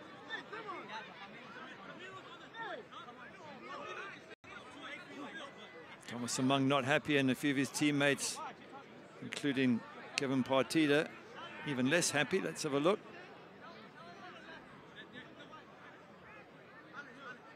Hard to see just where his head was hurt and why, but nonetheless, they get the free kick.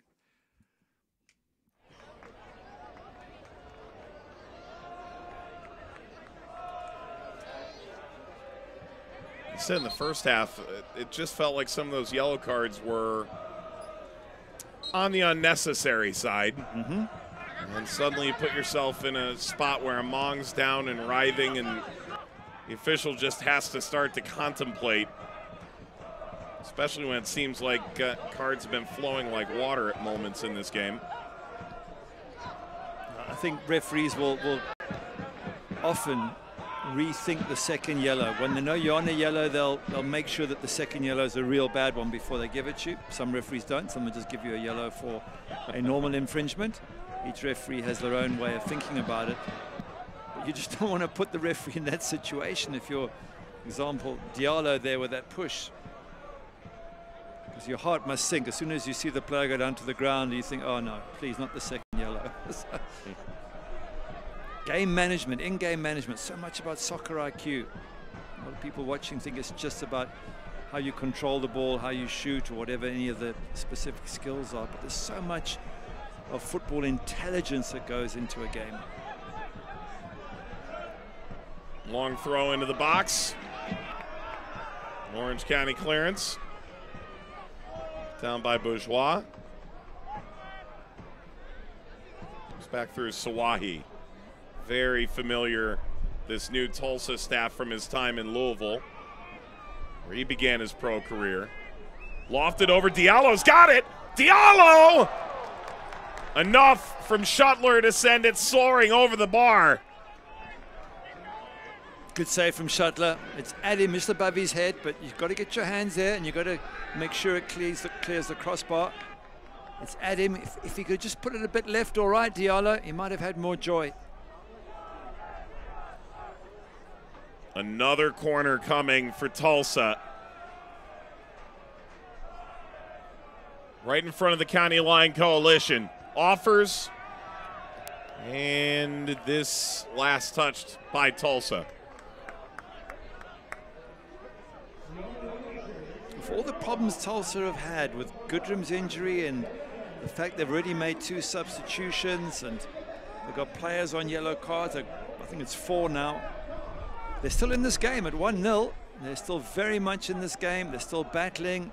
They've already had a few little set pieces and not even half chances, quarter chances perhaps. But they're alive and kicking and their fans have got to believe that they can still come away with something from this match.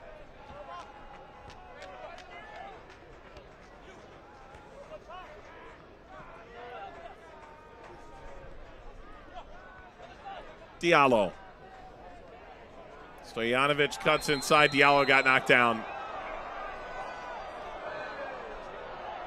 That's the latest yellow. I think it went to Lamb for the challenge, not that ball being sent to Los Angeles. yeah, Diallo did really well there. Burst of speed down the side there. You got that leaning into the back of him. Knock him over quite right by Owen Lamb. Good play from Diallo.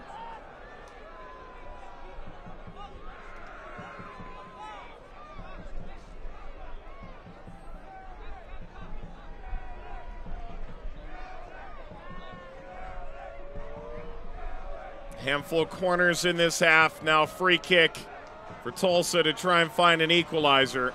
It's where Orange County's made their money in the young season. Set pieces. They have to defend another one now. Getting a lecture from Trevor Wiseman. Defenders in particular, don't be holding, don't be grabbing. As a wise man once said. Your posts, County can deal with that. Diving header back into harm's way, so I got another peek to it and ultimately got by Stojanovic.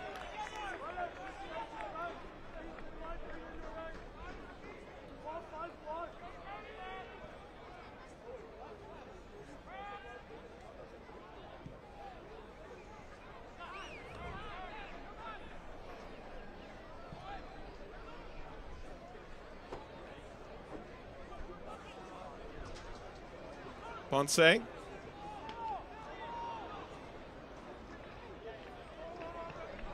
Something went on there with Rogers. He's back up. Apparently, uh, isn't too much of an issue.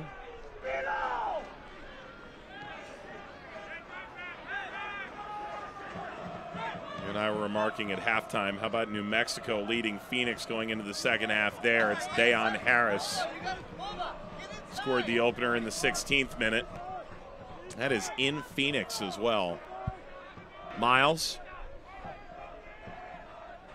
For those perhaps uninitiated to Western Conference politics, those teams do not like each other. That's an understatement. Skewed away from Duluth, picked up by Portillo. Sigrist. Curling one over the top. Redirected header. Yeah, free kick.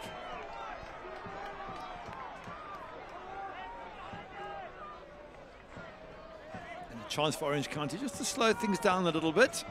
Yeah, and they get some medical help perhaps, or if not, just get a bit of a breather. The danger always at 1 0 up is you start to sort of defend more than you should do because you've got the lead. Don't want to do that if you're Orange County. You want to get that second goal and the insurance goal.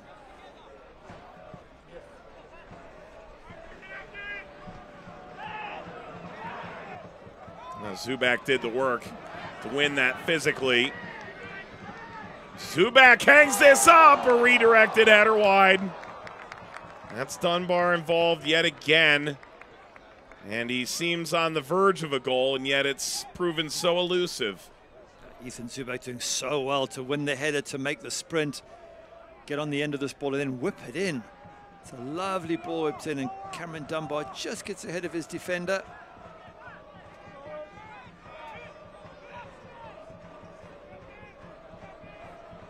Now, for those watching in Tulsa tonight,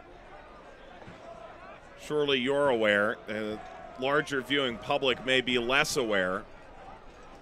All the changes that came with conference realignment. I know that's a phrase that the American sports fan has heard too much of. But with RGV receding and San Diego as well, and then the two incoming teams both on states adjacent to the Atlantic Ocean, Rhode Island and North Carolina, some teams had to dip over to the Western Conference now. Of course, one of those teams is FC Tulsa. So Orange County will have to play the return fixture this year as opposed to last year where you uh, only had to play an out of conference opponent once. Orange County was in the west, Tulsa in the east. So these two teams, it's a, a little more on the line this time around. And for Tulsa, you'll see both Vegas, who you start the season with, and Orange County eventually at ONEOK Field later in the year. Well, some people believe that the Western Conference is, is tougher than the East. I don't know this Yeah. year. Bouncing ball, that will skip all the way by Shutler. I agree with you. I wouldn't want to make a call on that, but they are in the West and San Antonio, Orange County, Sac Republic, Monterey Bay, Phoenix, Colorado Springs Switchbacks. Well, look at the bottom three right now beneath Tulsa. Four games, Phoenix, three points. If uh, that result holds, El Paso, one point through four, including three home games in the books. Colorado Springs is 0 3. Yep. Could have predicted That's what that. I said. If you couldn't have predicted it, it's a, it's a tough conference, both West and East. Corner for Tulsa. That's Shutler with a strong punch. Bourgeois. Well done, Colin Shutler. It's never easy to punch those completely clear, but what you've got to try and do is is get it away from as much danger as possible, and he did that. There are two teams with zero points in the league through three games Colorado Springs and the reigning Shield winner Pittsburgh Riverhounds. You're right. Who would have predicted that? It Does feel like the world's a bit off its axis.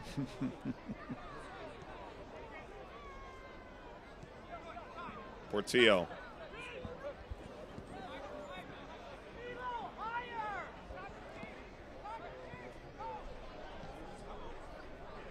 News last week Brooklyn was coming to the championship. News this week that Buffalo intends to join the championship. All the teams that are due in in due time, like Jacksonville.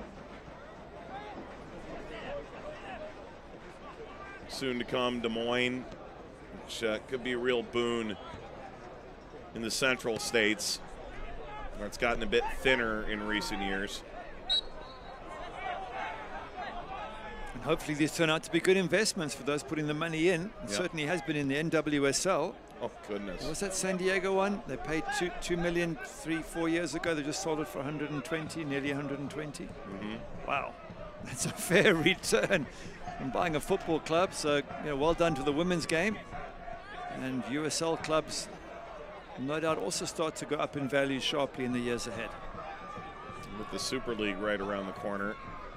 So much of, of the way this progresses, not just using your, your stadium 17 times a year.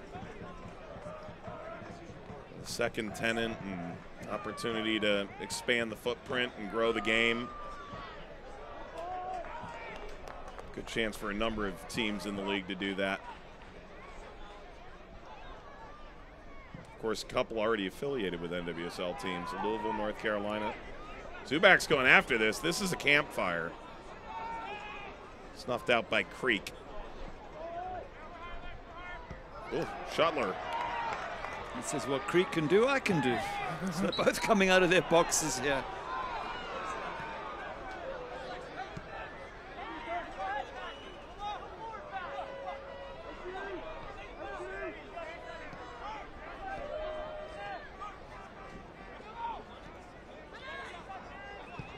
Orange County in the very, very deep block again. Ball lobbed across. Segrist was there.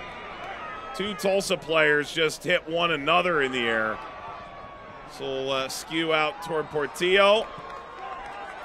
And there goes Amang. Allowing Zubak to power forward. Foul. That should come. Well, they, they could have at least considered a card for that.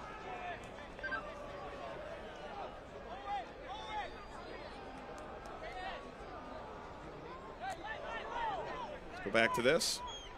Oh, it's a great little flick on there from Owen Lamb under huge pressure at the far post. And it's the coming together of bodies, nothing nasty about that. But again, Orange County get to slow the game down a bit, get their big guys, and they're so dangerous with the guys they have in the box.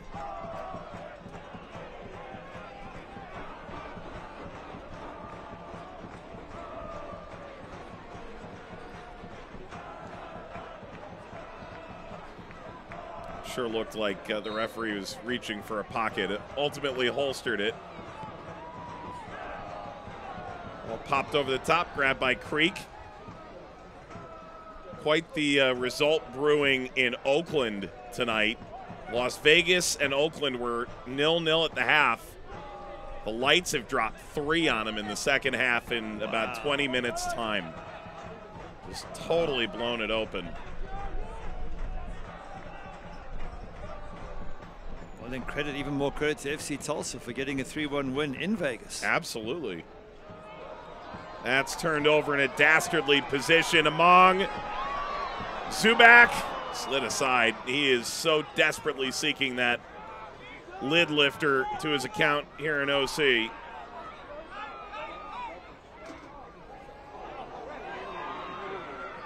Play continues. Diallo. To the feet of Ponce. That's a late whistle, but a whistle indeed. That's two late tackles, so I'm not quite sure who the referee is going to book and what he's going to do, but definitely the card's going to come out. The important thing to remember is that Lamb's the one on the yellow, two in orange. Well, it's Brian Iloski with, oh, it's both with Brian Iloski, so he's ah. definitely, definitely got to end up in the book, surely. Lamb, Iloski, and Chattha are on yellows one way. Segrist, Portillo, Diallo, and Ponce the other.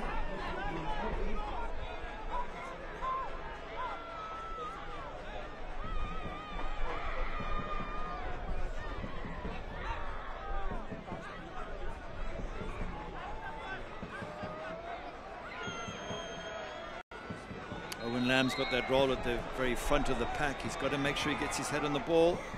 That did just go straight Ooh. through. And uh, lucky there's no additional touch, or Shutler could have been in trouble. Absolutely. That might have been the idea, but Owen Lamb was sort of the first to reach that area. So if it was any any closer to the strikers, he probably would have cleared it. Nonetheless, always heart and mouth time when the ball goes between goalkeeper and defenders.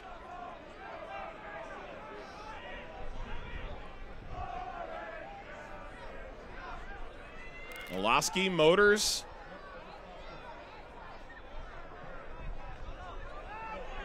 Djeffal.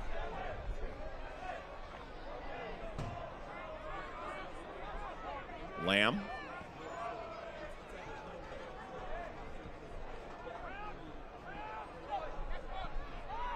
to the halfway line. Shutler's going to come for it, and that'll scrape the moon. Bouncing on Sawahi. And back to Creek. Just wondering when Morten Karlsen's going to make a few more changes. Some tired legs for Orange County. Just the one change so far with Ethan Zubak. Maybe bring some fresh legs off, off the bench. Going to try and put this game to bed if you're Orange County for FC Tulsa. They've done a decent job second half of just probing and looking for a chance. Is there one here? Early from Siegrist. Kept away from Diallo. Siegrist. Could Siegrist have hit that first time and it dropped for him inside the box? He's got a great left leg.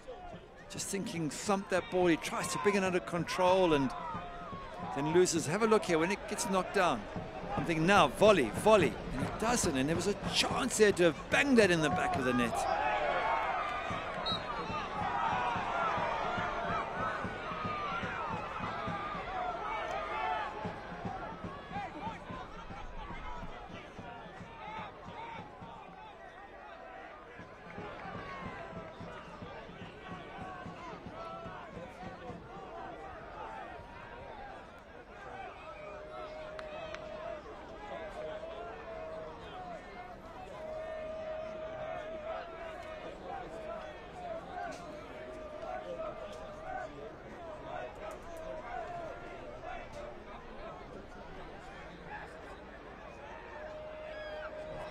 Tied.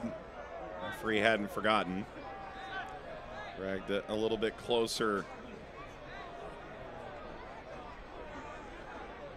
to the touch line.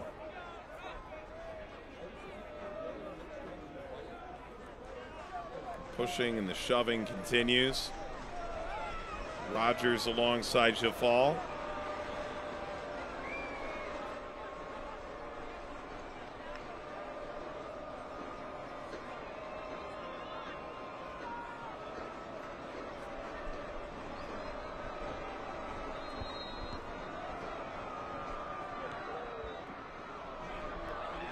High arcing effort met by Shutler, who tonight could become Orange County's all-time wins and shutout leader. Now he's uh, 18 and a half minutes from that possibility. Yeah, he can beat Rakovsky's record of 13 clean sheets.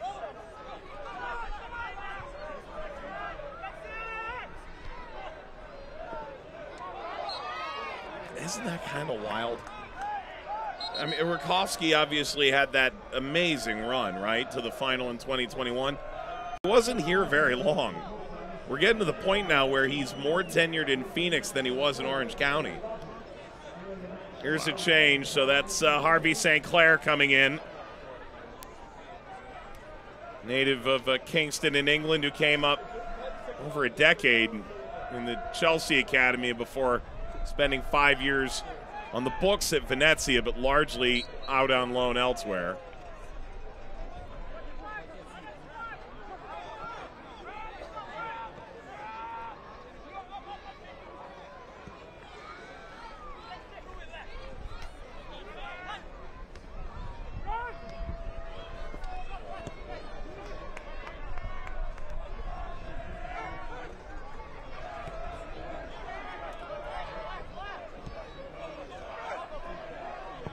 Kowalski.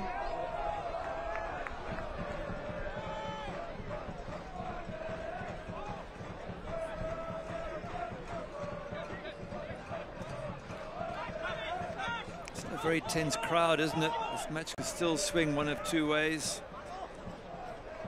Or even more than two ways for all we know, but it's, you know, there's a possibility of a, of a second goal and just shutting it down for Orange County. There's a possibility of an equaliser. I guess the third way is just to stay as it is. So I think all the crowd, are, the singing still continuing, which is great to hear at Orange County. It's Championship Soccer Stadium. Stojanovic, he was leading off that back shoulder. Haven't seen much of Stojanovic, have we? Especially second half, and you just wonder whether without Philip Goodrum, they just haven't got that incisive player who can get in there and make some magic happen. And even if he's not the one who makes the magic, don't you always have at least one eye on Philip oh, Goodrum? Oh, jeez, absolutely you do. And he can drag defend a couple of defenders out of the middle and open up space for Stojanovic to operate in.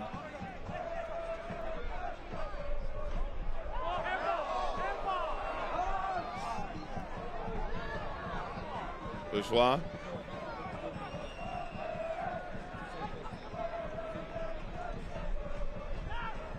Skittering through midfield. There's Stojanovic.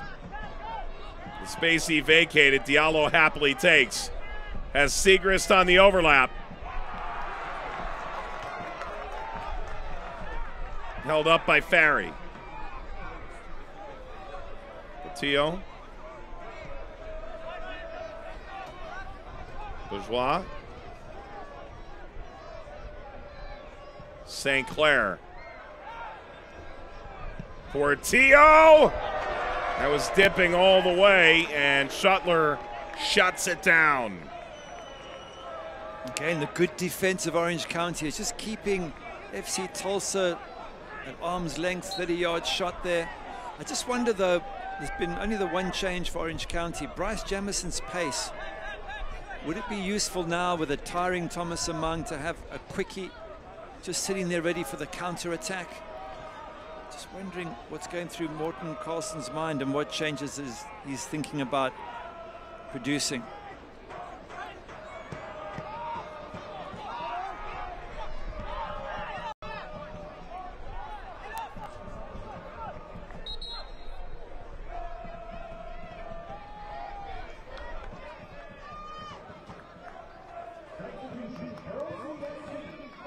Orange County making a change.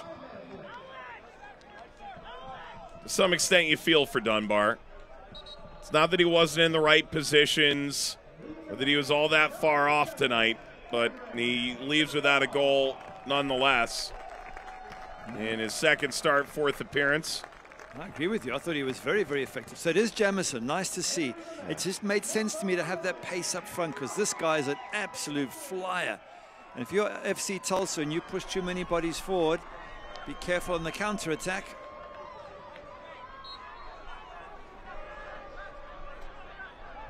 Jamison can put this game to bed in a matter of seconds.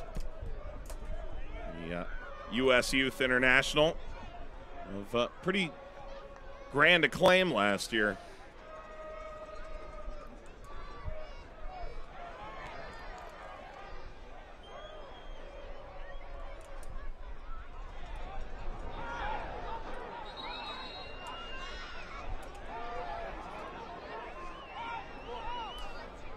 Reminder that Orange County will hit the road the next two weeks as Tulsa try and advance here, take at least something out of their road trip. They'll return home to Championship Stadium Saturday, April 20th. See Sacramento. Gnarly's birthday party, of course. Don't miss out on the event. It's fun for the whole family. Get tickets today, orangecountysoccer.com slash tickets. Here comes Orange County flocking forward. Launched ahead, saddled a Mong. Oh, that's short of the scoreboard. Yeah, probably wasn't the right moment for him to shoot there. He was leaning backwards, wasn't he? He's a bit tired as well. He's run his socks off, Thomas Amang. He's going backwards and he tries to turn. It would have, well, would have been some strike to turn and hit that in the top corner. He's even laughing to himself.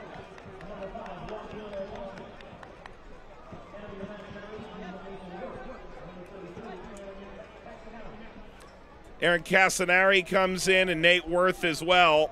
Subs by Metaquip. This is the end of the line sub-wise for Tulsa. Remember, even if they were to need a potential sub for a head injury, for instance, which of course the USL continues to utilize that rule, because Goodrum went down pregame, was initially in the starting lineup, not eligible to play anymore. So that's it, no matter what.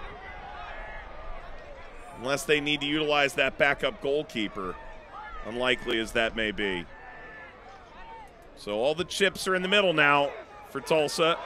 And with time to make an impact at that, the 17 year old Worth and Casanari, the 22 year old Slovenian who makes his club debut.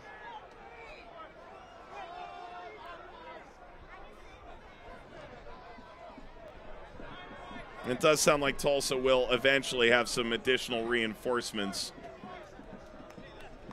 Yeah, we don't know exactly what, but we hear that there will be a top-class player joining very, very soon. Exciting times. Yeah, absolutely. The more the merrier in terms of players with real ability. And you want depth because you know you're going to have injuries during the season.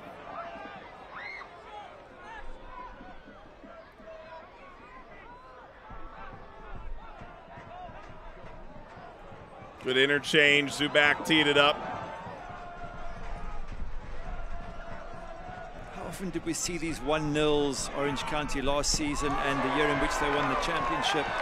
Time and time again, they would just eke out wins by a goal, defend superbly well, keep clean sheets. It just seems to be their, their DNA. If you were to define Orange County, you go 1-0.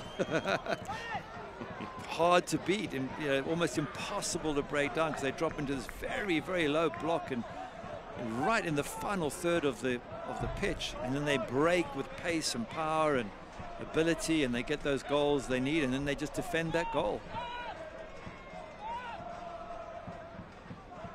Those Miles that just sent a real statement with that tackle.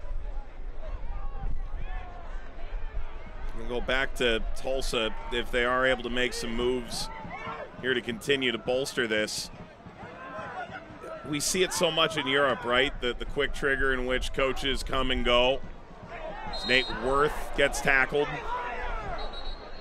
They were just getting started with Sam Dorr, just getting started with Blair Gavin last year. And this is a totally revitalized or a total new attempt at a restart for Tulsa.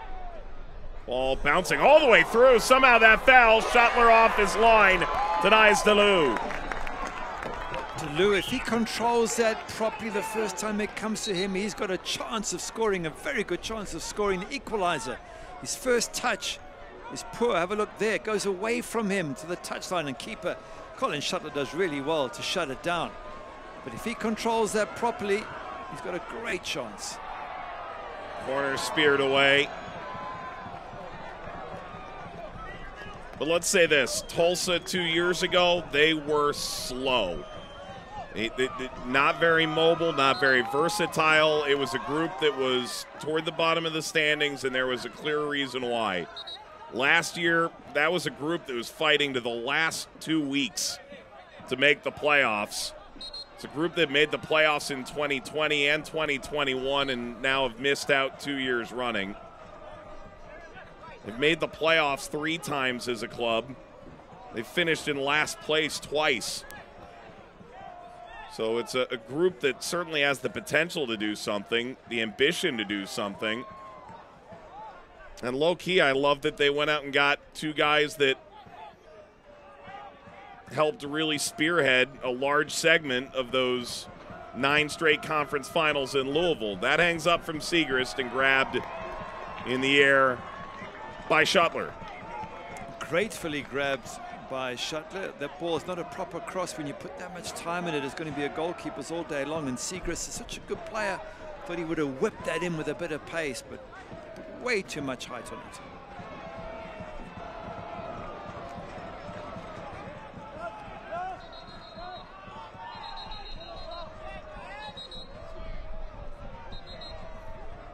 You're talking about Tulsa, by the way. Last season, what was only two points off a playoff place? They came so close. Yeah.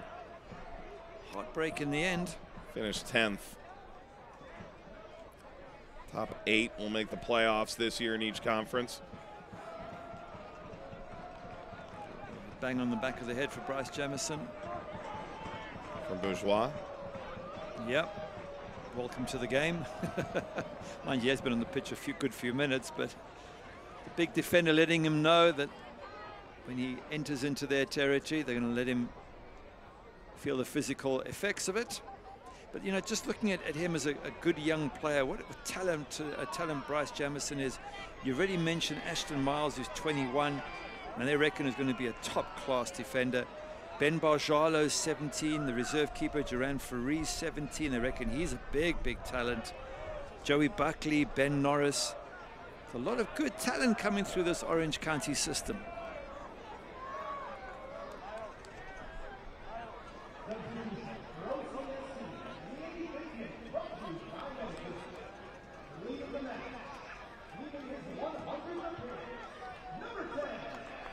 Brian Iloski getting the curtain call he deserves. They announce him off the field. The player making his 100th appearance for the club. And in trots Kyle Scott for the first time this year. Year and a half now with the club, 31 starts, 33 appearances last year. And the way to endear yourself sometimes 13 yellows and a red in that time. he's a real competitor and he's a very good player with a, a proper background both in the MLS in the States and in England as well with a spell at Chelsea started off at Newcastle FC Cincinnati important player for them and just hope he can steer clear of injury problems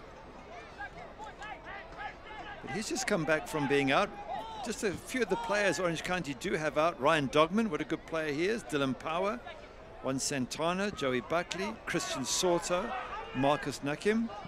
And then you noticed it pregame. You actually noticed it last week that Seth Casiple came off a bit gingerly last game. DeLu trying to find an equalizer for Tulsa into the final five minutes.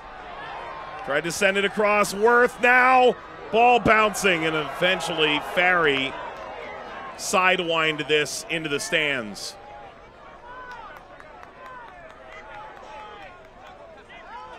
Again, they, they do so well to not give away a cheap penalty, to not get their hand on a ball, to block shots, to whatever it is.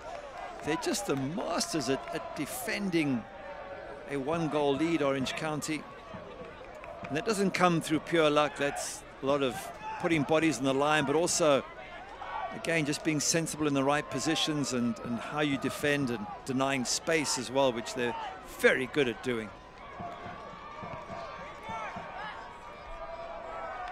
Got away from Segrist. But you notice that uh, Casiple, who was hoping to make his 200th championship regular season appearance tonight, won't get the opportunity. Didn't make the bench. We presume due to injury.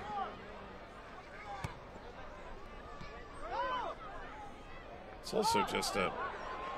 This is as deep as any roster in the league. I don't know.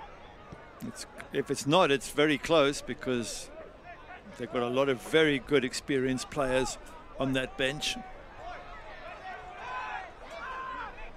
You know, and the interesting thing about it is, you know, you and I were chatting about Louisville City earlier today and the depth that they've added. There's a ton of all league players. This is just a good top to bottom team. Segrist sends away. Portillo. That was curling the wrong direction. That was worth an, an effort, wasn't it? 25 yards up, Portillo. But again, that's that's where the dangers mostly come from. These long-range shots. It's because they just make it. They crowd that center of that box, and they do win their headers in the air most of the time. Orange Counties, they they leave you trying to shoot from distance, which they're very happy. They're saying if you can beat Colin Shutler from 25 yards, go for it. Unfortunately, Miami FC did it twice. True. well, certainly once from 25 and one from about 15 yards, but that was not, not Colin Shutler's best day. But generally speaking, very difficult to beat Colin Shutler from anything over 18 yards. It has now been 28 plus minutes since an Orange County shot.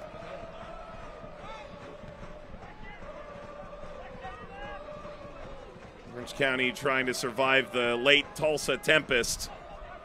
Take the three points, continue what would be a four game unbeaten run to start, eight of the 12 possible points. Tulsa starting later than most, only their second game of the campaign. going to do both on the road. You'd argue having to go to Vegas, it's, to be fair, far less of a clown show than it used to be going to Vegas. I can't speak for what happens when the game ends, but at least during the game, it's a it's a soccer match now. No more jacuzzis next to the pitch, hot tubs, and all those things. B- beds. Beds. Jose Bautista has shown up and laid down the, the law in Las Vegas. But nevertheless,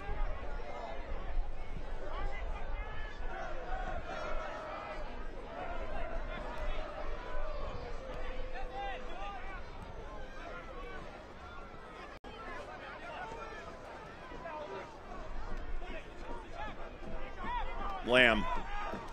How different is this? Orange County, at least for a moment, was able to step on it. Lamb able to wing it back forward. Game management now in the 90th minute from Orange County, just going to keep possession, take their time. But even if FC Tulsa come away from this without points, they've put up a really good show under trying circumstances with the loss of Philip Goodrum and early changes to their, their back line through injury. And they've really fought back well in the second half. And I think Mario Sanchez will be pleased with that. Won't, won't be pleased with the fact they haven't got any points, assuming this result remains. But he'll be very happy, I'm sure, with their attitude. And it's just their second match. Orange County, it's their fourth match. So FC Tulsa still not into the same groove yet that Orange County are into. Stoppage time presented by the Zolfagari Law Firm. Four added minutes. And how many times do you hear a coach say, "Yeah, our culture's good and chemistry is good"? Preseason, that's that's pretty simplistic. It's it's when the chips are down. They were Yeah. down tonight for Tulsa, and the team showed. Despite overwhelming odds, they're still hanging in. Segrist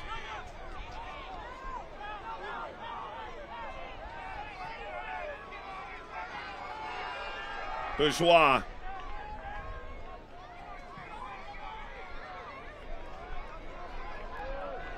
Shutler lets it run in, and Orange County will try and shorten the game. Well, with this result as it stands, they go top of the table again, Orange County. That's very impressive. Unbeaten in four matches. They will be top on eight points alongside San Antonio. Header into a wide open space, and Orange County close it down. It's worth noting, Tulsa, it, it looks better in hindsight. You could argue they, they were, in fact, coming together. They made moves that did move the needle. Player down for Orange County grappling with that left leg, and that looks like the captain, Partita. But it was a five game win streak, August, September, where it was Detroit, Indy, Miami, Hartford, RGV. Detroit got the last playoff spot, ultimately beat Pittsburgh, knocked out the Players' Shield winner. But you're, you're talking all teams that finished eighth or below in the final standings, and that's what had Tulsa right on the verge and in control of their destiny going into the last uh, couple weeks, where the depth did him in. Partita's up. He's going to have to walk off the field for some measure of time. And what was four minutes will probably be closer to five now.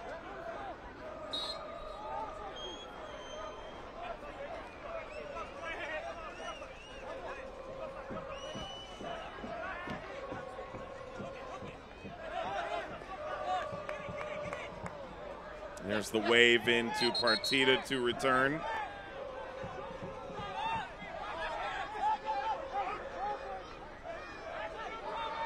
Sanchez doesn't care for the Pedantic move backward.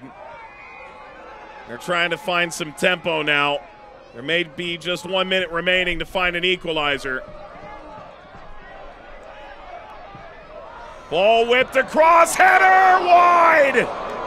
Oh, that wow. was the moment for FC Tulsa, certainly so. Nate Worth, the 17 year old, like a salmon out of the spring. Nate Worth, that was your chance to put your name in lights, and a great chance it was just to hit the target, force the keeper at least to do something. Just goes wide of the far post. Heartbreak for the young man, 17 years of age. What a moment that would be for him, and what a great cross in as well. That's the first time that Orange County have been vulnerable. They've dealt with everything that came in so well, except for that one moment. And they're lucky that Nate Worth wasn't able to hit the target. They almost paid a two point price against this new interconference foe. Well, new and old and new again conference foe.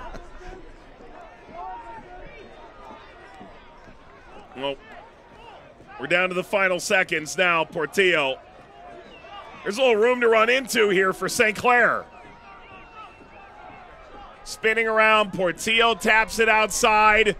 The service across, header down right at Shutler. And is he holding the club record? Wins and clean sheets. Just wondering, there couldn't get enough power on that header. Could he have headed it square? Maybe there was someone in the box waiting. It is full time. Colin Shutler stands alone in Orange County lore. And the best start since 2011 for OCSC continues. Four unbeaten to start the campaign. And a gutsy win against this Tulsa side that would just never say die. Yeah, give Tulsa credit. Second half, they were really much better. They came at Orange County, and at the end, ever so close. Nate Worth could so very well have grabbed them a point, but Orange County, they are the masters of defending leads, and they showed again tonight why they're going to be so hard to break down this season. The player of the match presented by Hoag. And Colin Shutler will celebrate with the boys. And he uh, ultimately perhaps spared blushes in the final seconds of this thing. Also made a key save or two as the second half progressed. As Tulsa grew into the game, seeking that late equalizing goal. So Orange County win this one 1 0 over Tulsa. We'll walk you through the implications and the highlights when we come back.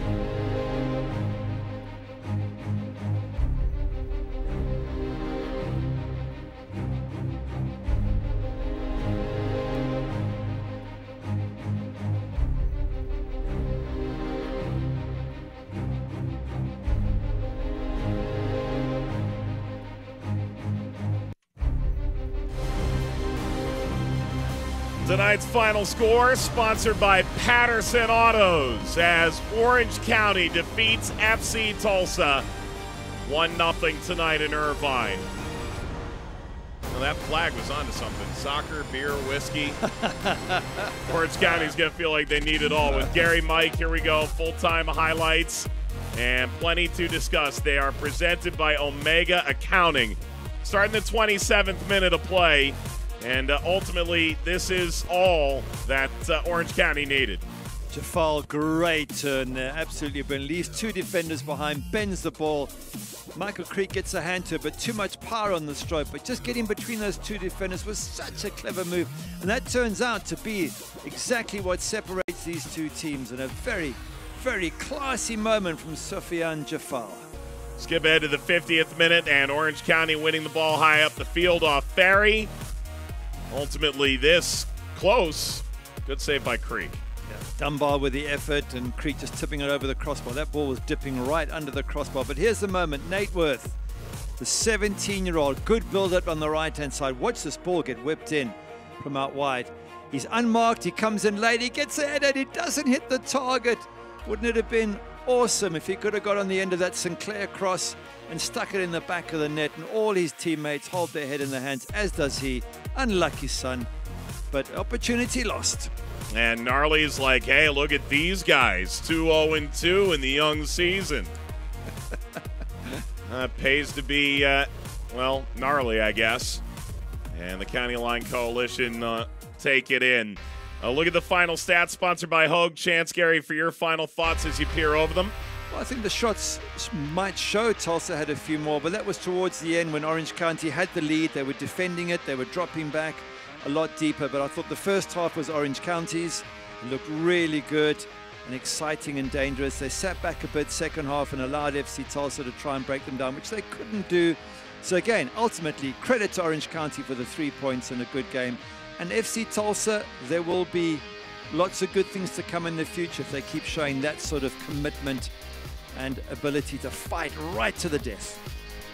Orange County have now scored in their last 10 games in the league. That's their longest run in half a decade, stretching back to the end of 2018 2019. Final score is presented by Patterson Autos. Orange County a winner here. They knock off Tulsa 1 0 on a stunner from Sofiane Djeffal. For Gary Bailey, our entire team in Orange County and beyond, Mike Watts saying, Thanks for watching. Shutler the clean sheet, Orange County the victory. Good night. This copyrighted telecast of the United Soccer League Championship cannot be retransmitted, rebroadcast, or reproduced without the expressed written consent of the United Soccer League Championship.